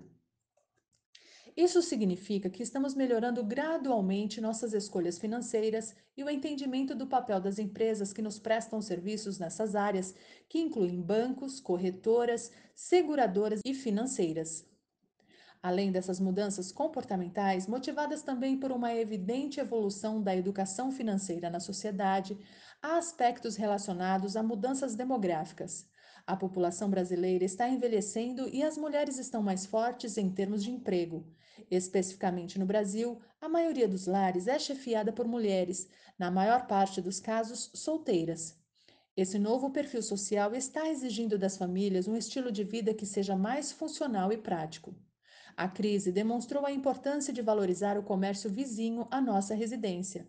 Muitas famílias abriram mão de um automóvel para manter as contas em dia. Compras voltaram a ser feitas em menor quantidade e cada vez mais perto de casa. Isso é reflexo de dois fenômenos. As pessoas estão procurando se deslocar menos de carros e estão comprando mais pela internet, aproveitando a facilidade da entrega em domicílio, conveniente e até gratuita, dependendo do nível de fidelidade do cliente. O abandono do automóvel, bem que marcou a sociedade a partir dos anos 1950, tem sido crucial para importantes mudanças na sociedade e no consumo. Entre as razões para isso estão a cidadania, contribuir para o trânsito, e a sustentabilidade, contribuir para o ar limpo. Mas, sem dúvida, o principal motivo para se abrir mão de ter um carro é o custo de manutenção. Na ponta do lápis, alugar automóveis de acordo com a necessidade sai muito mais em conta do que os possuir. Nessa comparação, incluo o preço do carro, custo do financiamento, manutenção, seguros, impostos, perda de valor, a depreciação e custo de oportunidade, quanto estaria rendendo o dinheiro aplicado. O aluguel mensal ou por hora inclui todo o pacote e ainda serviços de urgência e a possibilidade de fazer upgrades eventuais quando oportuno. E além do aluguel, obviamente, há a opção do táxi e do transporte por aplicativo, que além de mais econômicos, nos permitem poupar tempo. Meus alunos, cientes do custo de manutenção, têm consciência de que carro, mesmo os modelos mais populares, é um luxo. Se eu posso custear e não atrapalha em nada meus planos mais importantes, mantenho na garagem. Mas se preciso cortar gastos, meu trabalho de enxugamento das contas começa por ele. Você tem fome de quê? Evite pensar nas necessidades e dificuldades como barreiras intransponíveis. Pense nelas como obstáculos a serem contornados ou, como se diz tecnicamente, como parâmetros do cenário. Você precisa alimentar seus filhos. Comida se compra, pronta ou então os ingredientes para prepará-la, o que é mais econômico, mas também se cria, planta e colhe. Compras por atacado, divididas com pessoas próximas e preparação em escala, marmitas, saem mais barato. Alimentos da estação custam muito menos do que os que sempre tem que ter em casa. Produtos locais saem mais em conta do que os que vêm de longe. Compra direta dos produtores exclui o custo do frete e a fidelidade compra frequente pode render descontos. Você precisa se vestir, mas precisa de boas roupas ou de uma roupa para cada ocasião. A moda não lhe é imposta. Você pode segui-la ou não. Pode comprar no shopping center e ajudar o lojista a pagar o aluguel de seu espaço, ou economizar comprando em brechós e pontas de estoque. Pode comprar o kit pronto da vitrine da loja ou usar a criatividade com base em sugestões de perfis de moda das redes sociais. Pode pagar um pouco mais por uma roupa que dure para sempre ou economizar em roupas baratas e comprar novamente daqui a três meses. E como nos alimentos, comprar por atacado, com um grupo de amigos e com fidelidade pode render uma boa economia. Abra sua mente para que suas escolhas sejam mais ricas, lhe permitam mais possibilidades. Você tem que ter uma casa? Não. Tem que ter onde morar. Tem que ter um telefone? Não. Tem que ter como se comunicar. Tem que ter um carro? Não. Tem que ter como se locomover. Ah, eu preciso de um carro maior porque viajo muito. Não. Que tal ter um carro compacto e alugar um maior quando viajar? Destaquei que, em razão da crise, as compras passaram a ser feitas mais perto de casa. Mas outra evidente mudança do comportamento nas grandes cidades é o crescente abandono dos automóveis para ir ao trabalho. O uso do transporte público tem sido prioridade dos governos e incontáveis empresas de mobilidade vêm oferecendo variadas formas de transporte, como bicicletas, patinetes, skates, compartilhamento de automóveis e scooters alternativas compartilháveis não poluentes e que aliviam o trânsito. O segmento do mercado imobiliário que prosperou mesmo em períodos de crise foi o de moradias compactas e inteligentes, com lavanderias coletivas e compartilhamento de eletrodomésticos que não ficam guardados nos apartamentos, que assim podem ter menos armários. São imóveis com bom acesso ao transporte coletivo, próximos de ciclovias e de uma zona comercial. Impulsionados pela demanda, estão surgindo complexos imobiliários que incluem edifício comercial, edifício residencial, flats e um shopping center ou área de lojas para atender as pessoas que abriram mão do automóvel. O preço do metro quadrado desse tipo de empreendimento chega a ser muito superior ao de imóveis próximos. Isso traz um bom lucro às construtoras e incorporadoras, mas também alívio aos compradores. Afinal, são apartamentos que já vêm com facilidades como automação residencial e mobília básica e que, com pouco gasto em decoração, resultam em moradias elegantes e personalizadas. Mudanças muito significativas de estilo de vida, baseadas na tecnologia e na comunicação, deixaram de ser futurologia e se tornaram acessíveis e viáveis. Essa vida compartilhada, financeiramente eficiente e mais sustentável já pode ser considerada mais econômica do que o antigo modelo consumista. O que lhe falta é dinheiro ou tempo para se organizar? Talvez você esteja apenas dando uma desculpa que todos usam para não ter que assumir a responsabilidade pelas dificuldades financeiras. Elas são apenas o resultado de suas escolhas. Minimalismo. Um movimento crescente na sociedade, reflexo da consciência contra o consumismo e seus efeitos nocivos para o futuro, é a adoção de uma atitude minimalista de consumo. É crescente em comunidades do mundo todo e, particularmente em alguns países europeus, a reunião de grupos sociais para discutir, adotar práticas e disseminar o consumo minimalista. Trata-se de racionalizar as escolhas de modo a evitar radicalmente os excessos e as compras desnecessárias adotando o consumo de bens e serviços estritamente essenciais ou que não podem ser substituídos por outra forma de atender às necessidades pessoais ou familiares. À primeira vista, pode-se equivocadamente imaginar uma casa minimalista com uma mobília extremamente espartana, sem detalhes de aconchego ou decoração. Apenas uma poltrona e um abajur e os convidados que tragam suas almofadas para sentar. Seus moradores seriam pessoas que repetem todos os dias as mesmas roupas e não utilizam eletrodomésticos e equipamentos criados para facilitar a vida. Se ao ler minha citação ao minimalismo você imaginou preconceituosamente um estilo de vida amish ou hippie, talvez tenha sido influenciado por documentários que retratam formas radicais desse movimento.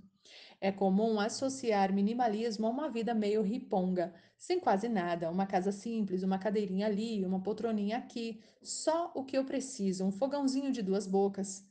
Essa foi a semente do minimalismo, as pessoas terem uma vida mínima, sem decoração, sem frescura, sem quadrinhos, sem florzinha. Considere esse modo simplista e despojado de viver como protótipo de um estilo de vida que evoluiu e se adequou às necessidades e oportunidades da vida moderna. A atitude minimalista envolve deixar de gastar com o que não tem utilidade duradoura para concentrar o consumo naquilo que é realmente importante.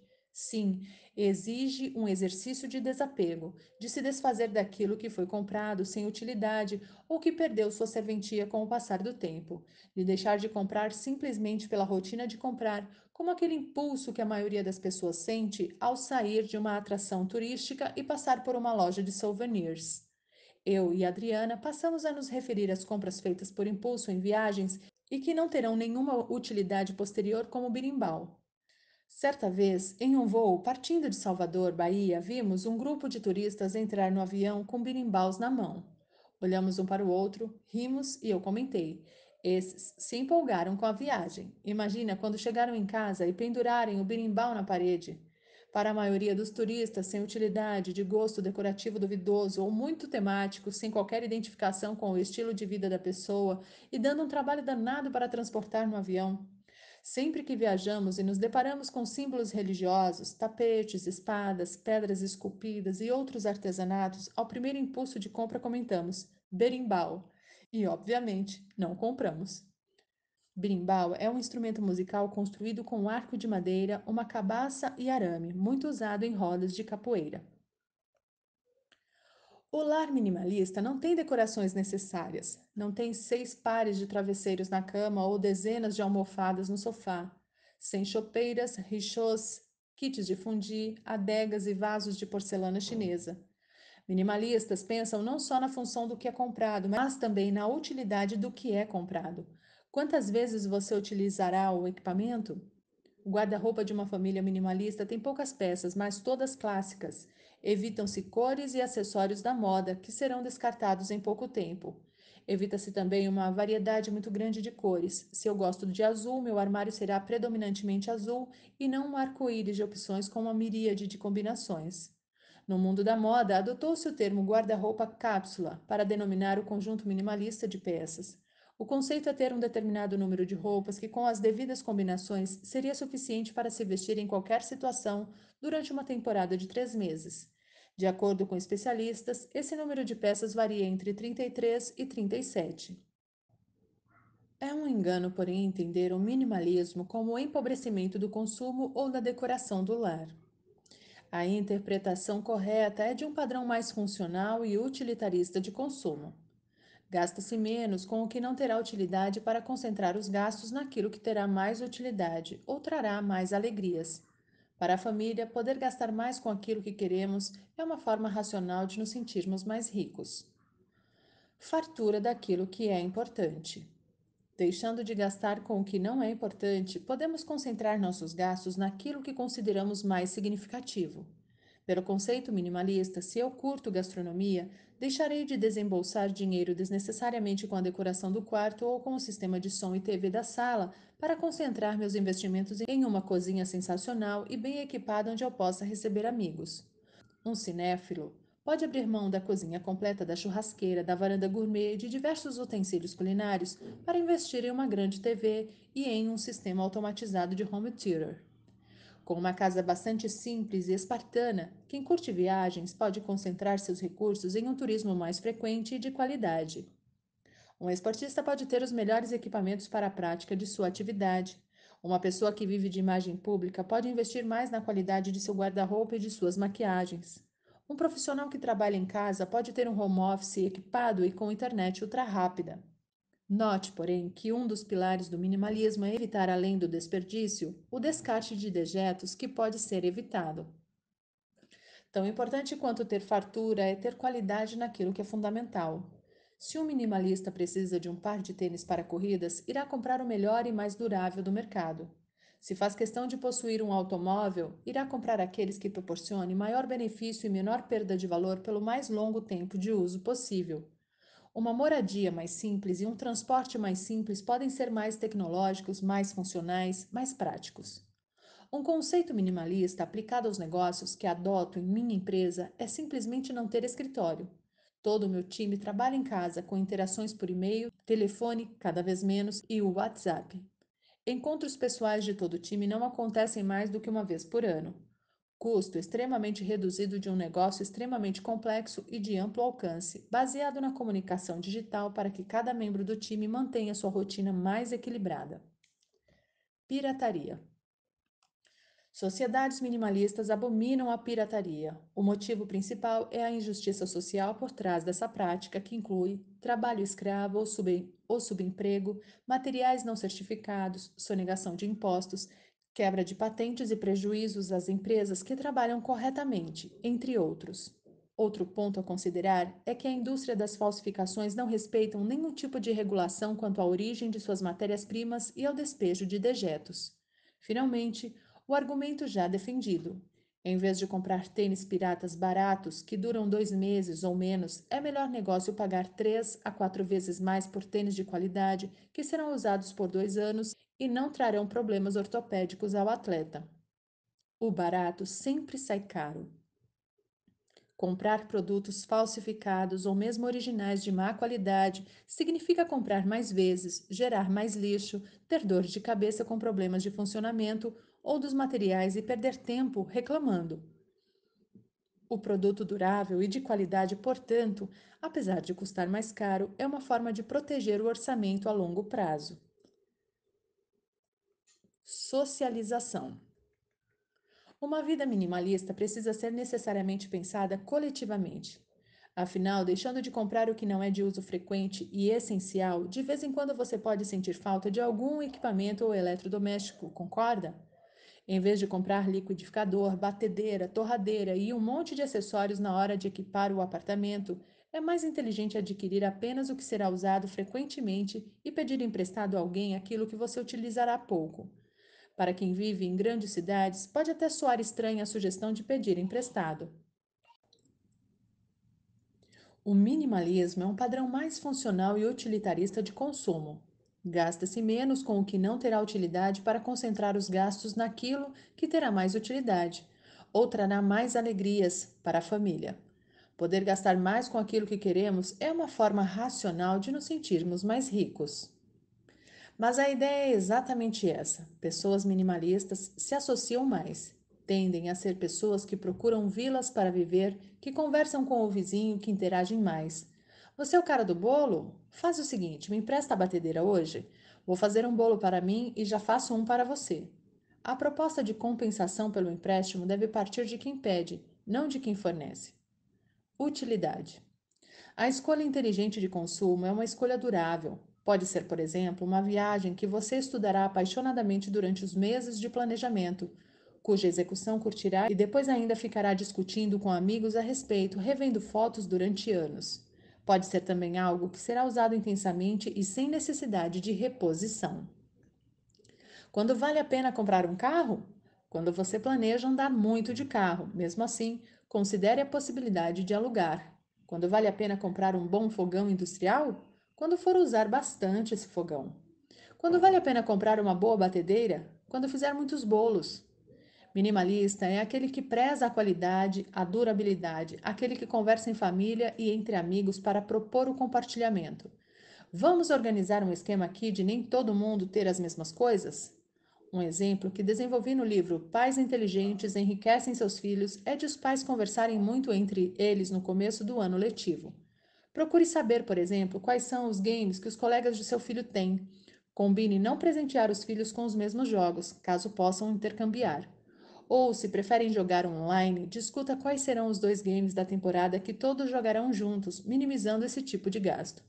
Os condomínios compactos e inteligentes que citei anteriormente já estão sendo lançados com todos os eletrodomésticos disponíveis num locker que funciona como um almoxarifado coletivo. Quem precisa de uma batedeira vai até o subsolo, identifica o apartamento e sai com a batedeira para devolver depois, da mesma maneira que funcionam os carrinhos de supermercado em condomínios mais antigos. Isso permite dispensar grandes móveis na cozinha, na verdade, permite cozinhas mais compactas e se traduz em uma grande queda no consumo de itens pouco utilizados. Na prática, a tendência minimalista já vem ajudando a fazer escolhas mais sustentáveis. Da combinação de maior socialização com maior utilidade daquilo que consumimos, nasceu uma reflexão que funciona como um lema da cultura.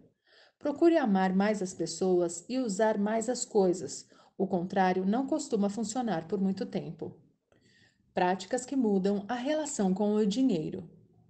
A cultura minimalista é uma reação aos desperdícios e à irracionalidade do consumismo das últimas décadas e também é um caminho sem volta para uma sociedade mais equilibrada e com menos desigualdade. A adoção das práticas minimalistas devem acontecer aos poucos, influenciada principalmente pela conscientização nas escolas e na mídia. Mas algumas práticas simples podem ser adotadas desde já e contribuir tanto para seu bolso quanto para a sociedade. Recomendo oito atitudes para iniciar essas práticas em casa. 1. Um, pedir emprestado. Precisa de uma ferramenta ou de um utensílio? Evite comprá-los, caso esteja apenas fazendo um uso eventual ou experimentando uma prática a qual pensa se dedicar. Utilize as redes sociais ou o WhatsApp para pedir emprestado aquilo de que precisa. Nas grandes cidades, isso pode ser visto com desconfiança. Para vencer essa resistência, a regra de ouro é sempre devolver mais, como os juros de um empréstimo bancário. Se pediu uma forma de bolo, faça dois bolos e devolva a forma com um deles. Se pediu uma furadeira, devolva com um kit novo de brocas. Custam muito menos que uma furadeira. Se pedir um livro ou uma extensão de tomada, devolva com uma barra de chocolate. Na próxima vez, seu pedido de empréstimo será bem recebido, pode apostar. 2. Compras por atacado. Não é difícil, em grupos familiares de WhatsApp, organizar listas de compras quando alguém se propõe a ir a um atacado. Quando feito com frequência e planejado com antecedência, o consumo por atacado pode render bons descontos, sem a necessidade de fazer estoques que levam ao risco de faltar dinheiro. 3. Compras coletivas. Se você e um conhecido estão interessados em um mesmo produto ou serviço, um curso online, por exemplo, podem considerar a possibilidade de comprarem juntos, compartilhando o uso e dividindo o custo da aquisição. Basta estabelecer com antecedência as regras para evitar conflitos. Esse é o princípio do sistema de compartilhamento de bens conhecido como time sharing, em que imóveis de veraneio, flats, carros de luxo, barcos e até helicópteros e aviões são comprados em conjunto e seu uso é dividido com base em uma agenda. 4. Compras conscientes. Já tratei das três perguntas básicas em uma decisão de consumo. Quero? Posso? Preciso? Elas já fazem um bom filtro nas decisões. Se você quer, pode e precisa, mas deseja comprar com consciência, faça-se a seguinte pergunta: Essa necessidade é real ou apenas fruto do desejo de pertencer a um grupo ou afirmar minha personalidade? Compras por status são uma forma real de desperdício.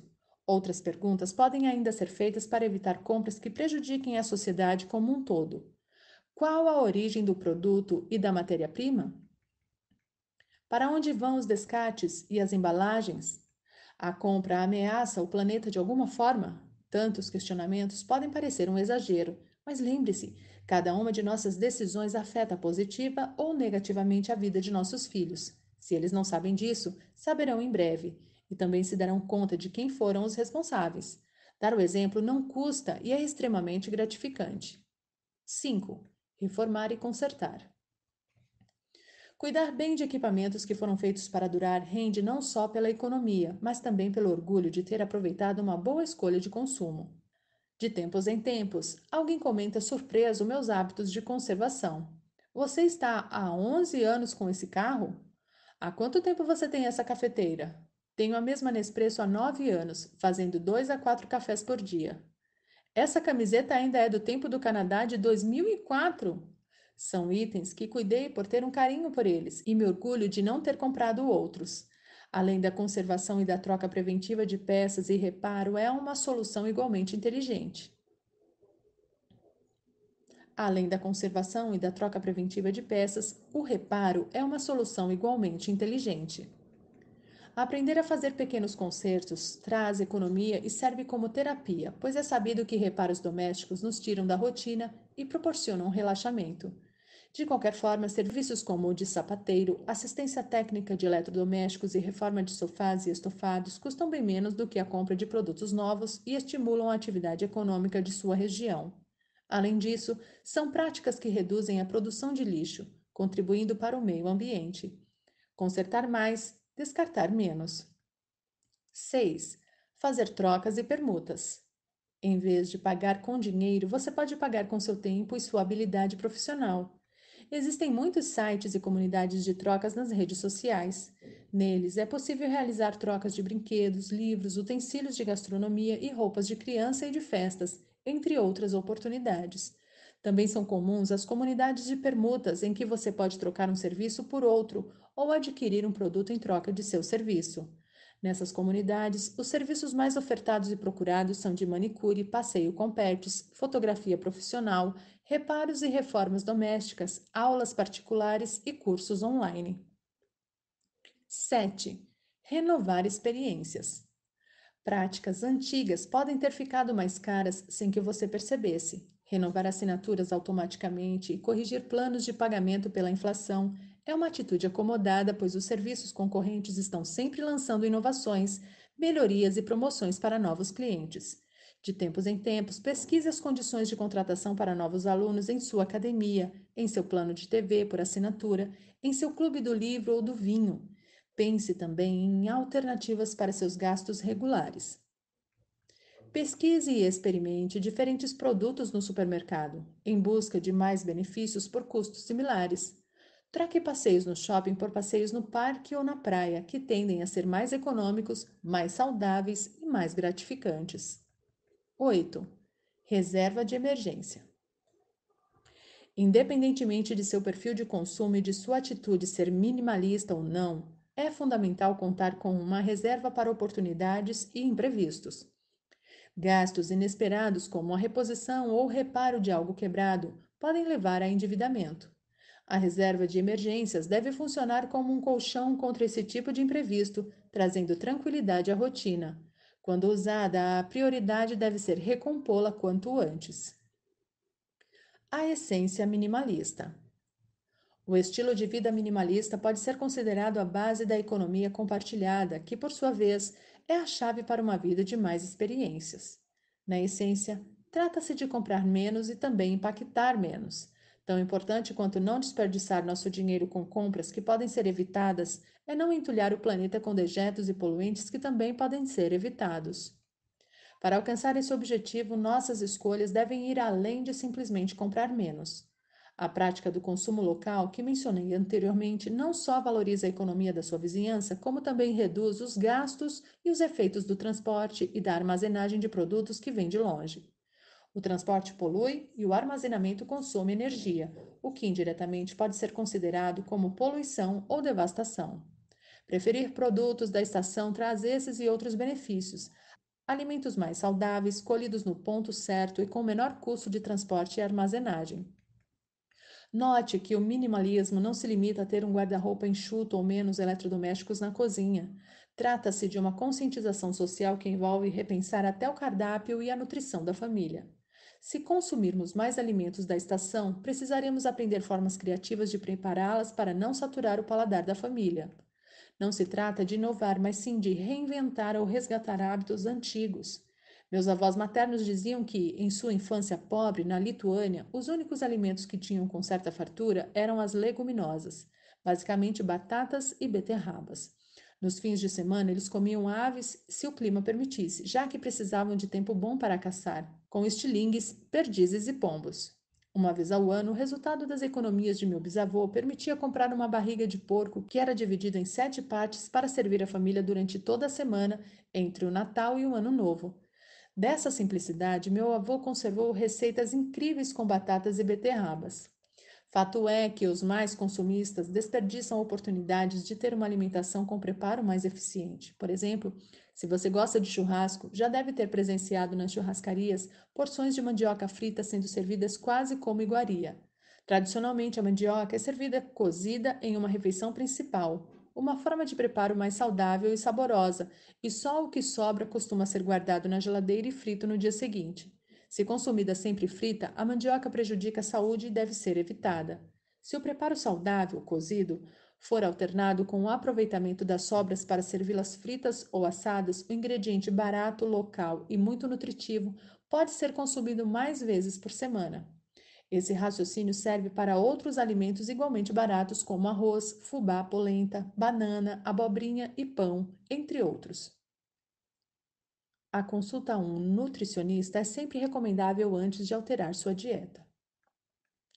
Um cardápio minimalista utiliza poucos ingredientes, mas explora as diversas formas de preparo, de acondicionamento e de reaproveitamento dos ingredientes para gerar menos desperdício e menos lixo a ser recolhido e tratado. Esse raciocínio pode ser aplicado a diferentes itens de consumo, em qualquer realidade social. Ao desenvolver o mindset de comprar menos e impactar menos, combinamos a economia doméstica com a valorização do comércio local e a redução do impacto social. Isso reduz a necessidade de atuação do Estado e alivia os cofres públicos para que possam fazer um planejamento mais preventivo. Em outros tempos, eu consideraria esse modelo utópico, mas em uma sociedade cada vez mais conectada e em franco processo de compartilhamento e de disseminação de experiências globais, hoje eu vejo como uma realidade viável. Cabe a cada um de nós optar por colocá-lo em prática.